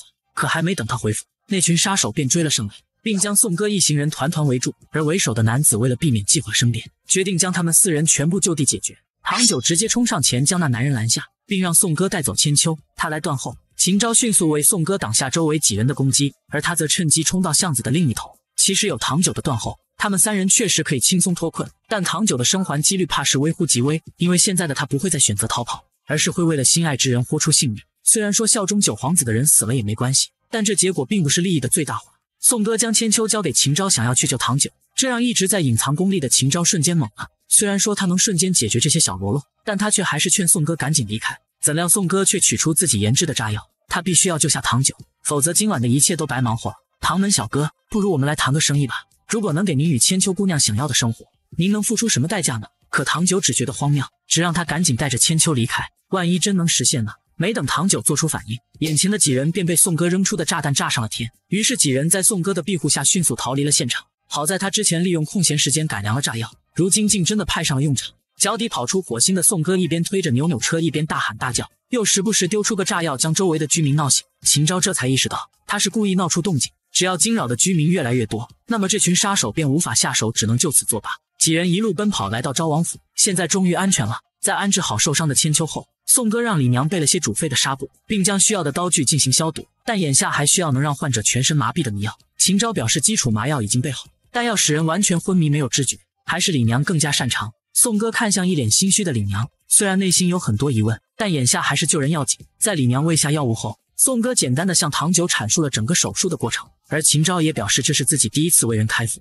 生死全凭天意。唐九瞬间心头一紧，但无论如何，他打从心底感谢秦昭愿意出手帮忙。此时的宋哥思绪万千，原书中的唐九是男主最信任的手下，但同时也是他手中随时可以舍弃的一枚棋子。而此刻是与他谈判的最好时机，只需要一句话，他便可像书中对待九皇子般忠诚于秦昭。可他现在却不想趁人之危，比起那些所谓的英雄哭，他更爱看些大团圆的结局。宋哥将千秋的手放到男人的手心，唐公子若是担心，那就握紧千秋姑娘的手，为她祈祷吧。从某种角度来说，亲近之人的体温对病患而言也是一种精神上的支撑。另一边，拥有夜盲症的秦昭苦逼逼的为自己备了好些烛光，不知为何，他的心底突然涌入一股莫名的情绪。害得他整个人提不起劲来。此时不知情的宋哥有些好奇，夫君准备这么多烛火是做什么？秦昭解下眼前的丝带，表示是自己的一种习惯。行医时还是开眼比较令人安心。此时的宋哥突然有种错觉，为什么他感觉此刻的秦昭好像木能是雾了呢？秦昭用烈酒进行了手部消毒，随后便在宋哥与李娘的协助下开始为千秋动刀。不敢有一丝怠慢的他早已汗流浃背。随着最后一道伤口的缝合结束，这场首次阑尾切除手术已经完成。眼下的千秋呼吸平稳。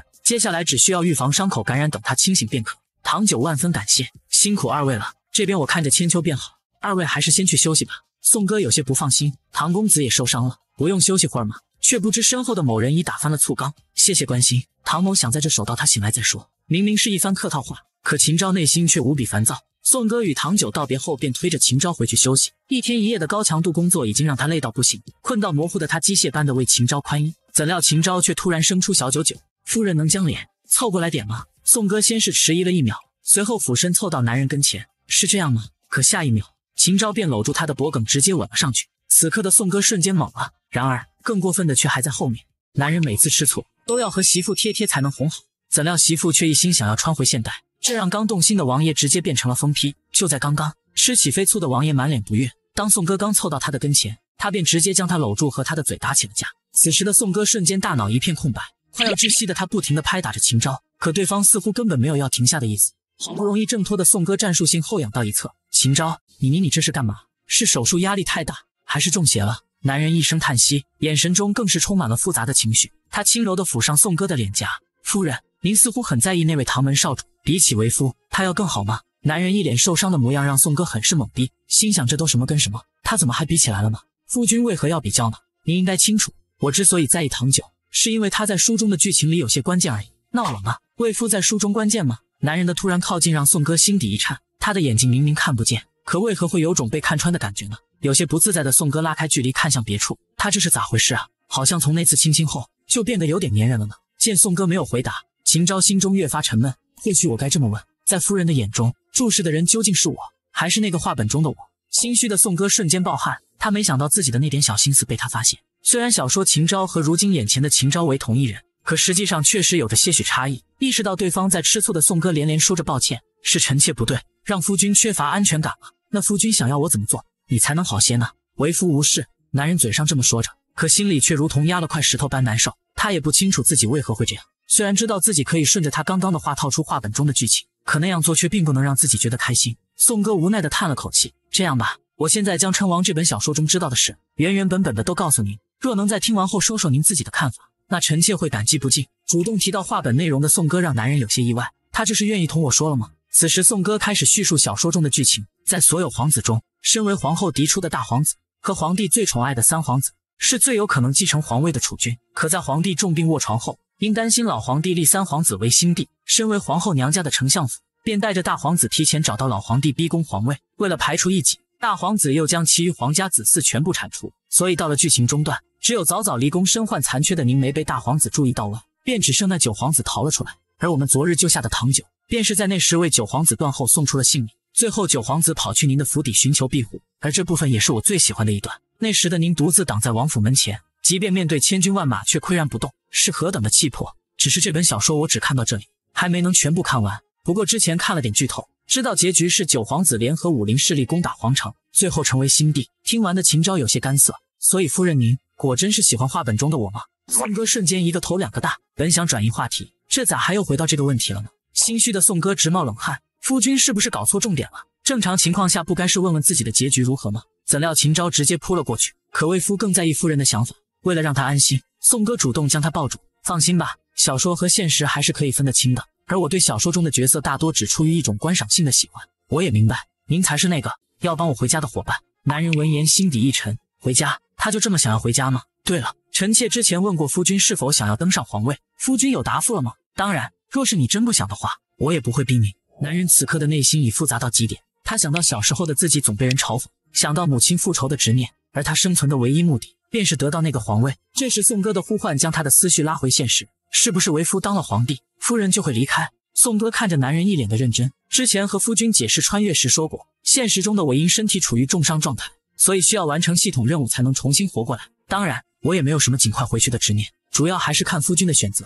为夫明白了。说话间，男人搂住宋哥的手也越发用力，他知道自己登上皇位的代价。那便是宋哥从此消失。想到这，男人瞬间失去了理智，而被突然推倒的宋哥心底一颤。然而接下来的一切却让他更加傻眼了。男人刚对媳妇动心，可媳妇却一心想要回到现代，这让一向稳重的王爷直接变成了疯批。失去理智的他将宋哥直接扑倒，并狠狠咬住他的脖颈。此刻的秦昭如同豺狼虎豹般享受着嘴中的猎物，即便宋哥再怎么挣扎也无济于事。直到心脏加速到快要无法克制时，他才起身：“抱歉，我好像有些累了。”他也不知道为何。最近总是做出些不太像自己的事，宋哥被整得很是懵逼。这解释貌似也太敷衍了吧？他摸了摸自己还在刺痛的脖颈，心想他是不是受到了什么刺激？还有他刚刚的眼神，就仿佛在盯着自己一般。难道他能看见？还是说都是自己的错觉呢？怎料秦昭却突然将他的手拉开，并用一种很特别的方式帮他清理了伤口。此刻的宋哥除了感觉崩溃，便还是崩溃。这家伙不对劲，非常的不对劲！呜呜，男人嘴角挂着血迹，并对自己的处理结果很是满意。已经好了，尝不到血液的味道了。随后便像没事人一样拉着宋哥就要休息睡吧。至于你想要的答复，明天起来再说吧。可宋哥哪能淡定得了？他到底搞什么灰机？做了这么一大堆迷之操作，居然还倒头就睡。此刻的宋哥恨不得将他拍碎。你这家伙算是崩人设了吧？没想到温文尔雅的小白莲居然秒变食人花。虽然知道兔子急了也咬人这种事，可他真不懂这秦昭究竟在急什么。他抬眼看向此刻安静下来的秦昭，也许他同那九皇子一般，都有着书中没能提及到的秘密吧。可是这个秘密。究竟是好还是坏呢？然而此事过后，一切又回归了平常。手术后的千秋也恢复了清醒，而两人拥抱的画面让宋哥心底庆幸当初的选择没有错。另一边，连锁店的经营已经走上正轨，有了足够的启动资金后，宋哥又开始着手于火锅烧烤店以及日用品商店。不过眼下他还急需一个精通机关术的人才。这时路过的唐九表示他可以帮忙。宋哥掏出图纸，表示想要制造一个能自动研磨粮食和将水引入农田灌溉的风能装置。新奇的功能虽从未见过。但唐九表示愿意尝试看看，让唐门少主去做这些粗活。宋哥有些不好意思，可唐九却表示无碍，毕竟您和秦王圣手是在下的恩人，唐某定会倾尽所有来报答这份恩情。夫妻二人同时正在原地。这秦王圣手的称呼，其实是秦昭早前为了躲避魔教追杀，游走江湖时伪装出的名号。而此事按理说不会被人知晓才对，秦昭却很冷静。阁下是如何知道的？唐九十分有愧地跪在地上。二位放心，唐某没有恶意，只是想确认一下。因之前曾受人雇佣监视王府，试图确认昭王与江湖中秦王圣手的关系，唐某十分抱歉给二位添了麻烦。可即便如此，二位仍以德报怨，救下唐某与千秋，所以唐某愿意将知道的一切全部告知。此时的秦昭却始终盯着宋哥的脖颈，这牙印咬得这么深，但凡是个人应该都能看得到吧。另一边，唐九将自己知道的全部说了出来，在他惨遭陷害、被逼出宗门后，被同样离家的千秋救下，身体康复后，为了维护生计的他。便来到黑市，以唐门门徒的身份去接各种保密任务。虽然在黑市都不会暴露买主的信息，但从接头人那还是套取到了一点蛛丝马迹。而那买王府消息的人，应该是来自皇宫，而且还是对江湖规则相当熟知的人。若是二位有怀疑对象，那日后必要多多提防。宋哥听完，便在心里有了答案。在宫中诸位皇子里，还能和江湖人士来往密切的人，只有九皇子秦胜天。此时不愿再添麻烦的唐九表示，等千秋恢复好后，会尽快离开。好不容易才给王爷找到得力助手的宋哥怎会答应？没有什么麻烦的。二位若是暂时没有去处，不如就留在王府做几日护卫吧。想来那晚的杀手已经知晓我与昭王的存在，毕竟王爷的轮椅十分显眼，随便打听便能对号入座。既然危险已经存在，那不如就正面迎击吧。几日后，本还卧床的千秋已恢复大半。若不是二位恩人相救，凤某真以为自己这次死定了呢。首次听到姓氏的宋哥眉头微皱，他居然姓凤。若他没记错，在小说中的凤姓者，除了被御赐姓氏的大将军嫡传一脉外，应该就没有其他人了。姑娘，您莫非是镇国将军之后？少女一脸尴尬。没错，在下凤千秋是将军末女，因些琐事暂时还无法归家。此时的唐九瞬间被惊掉下巴。你之前怎么从没和我提过这些？少女俏皮的眨着眼睛。你也没问我呀。宋哥一脸八卦的看着二人，你们俩该不是在私奔吧？少女十分豪爽的一把勾住唐九，我与小九就是兄弟，怎么可能私奔？宋哥有被震惊到，看来这姑娘还没能意识到对方的心意。我跑出来就是想多看看外面的景色，毕竟军营不用女将，被关在闺房等待出嫁的感觉实属无聊，所以想着不论如何都得先放纵一下，将这世间奇景全部见识后，才能乖乖回去认命。宋哥十分理解他的感受，毕竟他的武艺不输男人，却要遭受封建思想的束缚。这时翠儿心急慌忙的冲了进来，原来是他那渣爹又来王府找事了。腹黑王爷本想哄媳妇开心，怎料掌控欲爆棚的他，却又抱着媳妇啃了起来。就在刚刚，得知渣爹找上门的宋哥知道他来准没好事，果然渣爹一进门就是一通责备，说他不懂得尊重长辈。宋哥懒得理会，甚至都不愿回头看上一眼，因为他俩上门可不是因为思念母，而是他们那个好大儿闯祸来找他摆平。何母急出一身汗，你大哥在衙内当差，却突然被当成私吞粮饷的罪人关押进牢房。你大哥虽说心直口快，但对人一向大方，是绝不会做这种贪便宜的事的。宋哥忍不住内心吐槽：就他这嚣张跋扈的性子，岂是心直口快这么简单？让他去混官场，那就是在自掘坟墓。所以他知道这家伙早晚会闹出乱子，连累王府，不然自己何必掏出所有嫁妆来签那份契约？既然选择拿走他的嫁妆，那出了事他何必还要再管？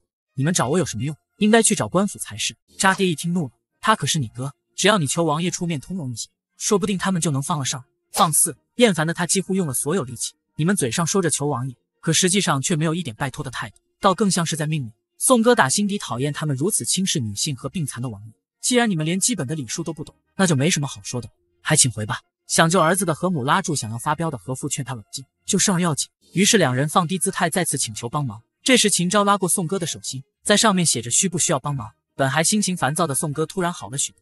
没错，至少还有他会站在自己这边。他轻轻捏住他的指尖，表示不用，随后从怀里掏出之前的契约，要王府出手也不是不可以。但前提是何府真能付出相应的代价。作为违约者，不但要付给王府三倍嫁妆，还要拿出三套御赐嫁衣呢。发现自己被算计的何父瞬间炸了。我让自己女儿帮忙可不算是提要求，这么荒唐的事，就算你找官府都不会管。没错，正是因为荒唐没人会判，那我索性不帮忙就好。毕竟画押都在，就算您去告我不孝，也会落人口舌。当然，也不是没有商量的余地。毕竟您也是我从前的家人，您可以选择用整个何家来换您的宝贝儿子，我没有任何逼迫您的意思。您也可以选择骂我一顿。然后重新寻找个能帮您的好心人。在何父何母离开后，半天没看到媳妇的秦昭来到房间。然而刚进门，就看见媳妇将自己蒙在被子里。夫人这是在做什么？突然 emo 的宋哥脸色差到极点。我在装鸵鸟。您可能不认识这个动物，可臣妾现在不想思考，也不想解释。最近的事情太多了，若不再放松一下，感觉神经就要崩断了。秦昭正在原地，他这是不开心了吗？他缓缓上前掀开被子，在钻入的同时又碰掉了丝带，直接把一旁的宋哥吓得一激灵。你进来干嘛？说罢，小手还不停地将他往外拽。男人一把握住他的手腕：“为夫想和您一起。”他轻轻吻上他的指尖。其实想救您的兄长并不难，就算本王毫无实权，但官府也会给几分薄面的。心脏狂跳的宋哥小脸绯红一片，心想：这秦昭最近怎么突然变得如此黏糊？他连忙收回手，尴尬的咳了两声。多多说不用了，臣妾开店时也攒了不少人脉，何宗盛的事可以找他们打听。所以夫人最终还是打算帮他们的。宋哥沉默了片刻，看他们表现。若何家愿意用全部家产换儿子平安，那说明这一切可以轻松操控，至少他们还有些人情味。宋哥想起从前的自己，父母连名字都没取，便将他抛弃。这宋哥的名字还是后来的养母为他取，在那之前他根本不懂家是什么。想到这，他的心情又荡到极点。他不停地甩着脑袋，想要甩掉那些坏情绪，让臣妾暂时当一炷香的废人吧，只要一炷香便行。躲在被子里的秦昭因光线不足而看不清他的脸，可若换做之前，他会对如此消极的宋哥感到厌烦。甚至会直接舍弃，但此刻他却很想将陷入忧伤的宋哥紧紧抱住。随着心意的他将裹着被子的宋哥整个抱起，他也不懂这冲动感是属于哪种情绪，或许是想近距离观赏猎物臣服于脆弱的掌控欲，就像之前咬他时一般。懵逼的宋哥小脸通红的探出脑袋：“夫君，你这是干嘛？”男人却将他抱得更紧：“夫人别动，让魏夫抱一会儿。可下一秒他又张开嘴，只是这次的他没有用力。他抱着不断挣扎的宋哥一通乱啃，或许是时候同意他登位的计划。反正原本回宫就是为了皇位，而那个位置是他诞生于世的唯一意义。宋哥，我想好了，我会登上皇位帮你回家。倘若这是夫人想要的，那魏夫便拼尽全力试试看。话音刚落，宋哥便开始变得恍惚，一阵眩晕的他仿佛听到有人在唤着自己，而呼唤声中似乎还夹杂着遗弃的滴滴声。这一瞬间，他仿佛看到了现代。当回过神后，就看见秦昭在问自己。夫人，夫人，你的回答呢？你现在开心了吗？宋哥木讷的回了个嗯。此刻拉着秦昭一起休息的他，还以为是自己太过疲惫，却不知自己没多久将会重新穿回现代，与他分离。